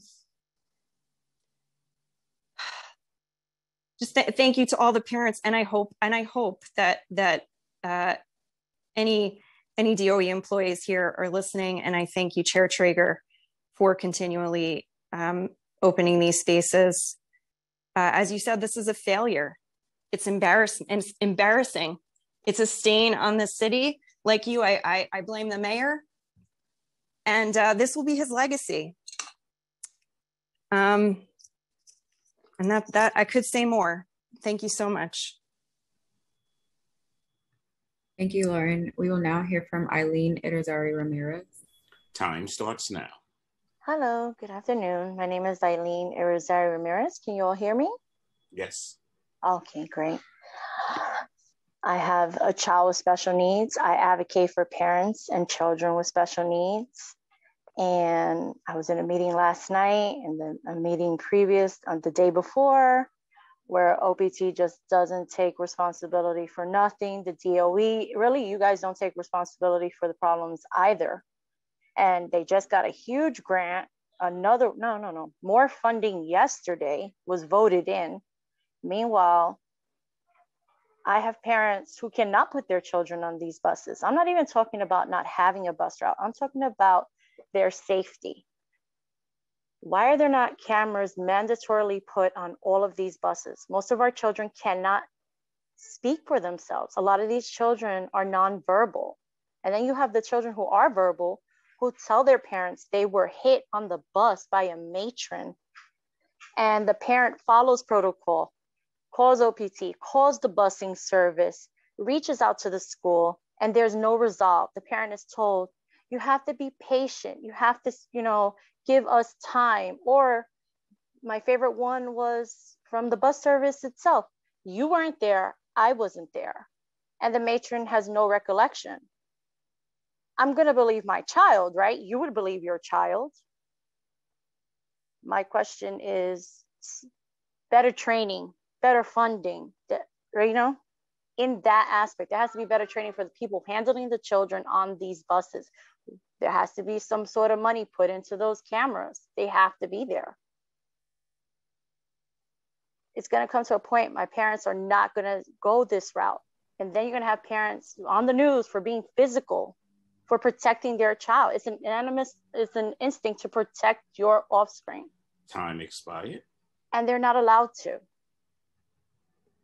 That's all. Thank you. Thank you, Eileen. That concludes this panel. If we've missed anyone that would like to testify, please use the Zoom raise hand function and we will call you in the order your hand is raised.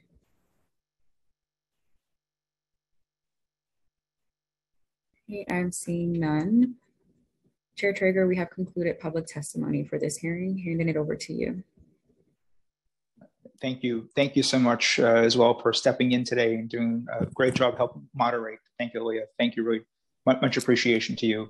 Thank you. Uh, and, and, and to, uh, to the entire staff. We, uh, as I mentioned earlier, there's no way to sugarcoat this. Uh, we, we, we are failing and uh, we're failing and the entire government needs to take responsibility here. we keep running into a brick wall of mayoral control in terms of what we can legally force, but uh, we're going to continue to use this platform, as mentioned, to create a space for families and folks to speak up and rightfully advocate. Uh, we just want I want the public to know that they cannot use the excuse of resources. Anyway, historically in the past, they could have used it here and there, even though when there's, when there's a will, there's a way. But now we are in receipt of billions of dollars.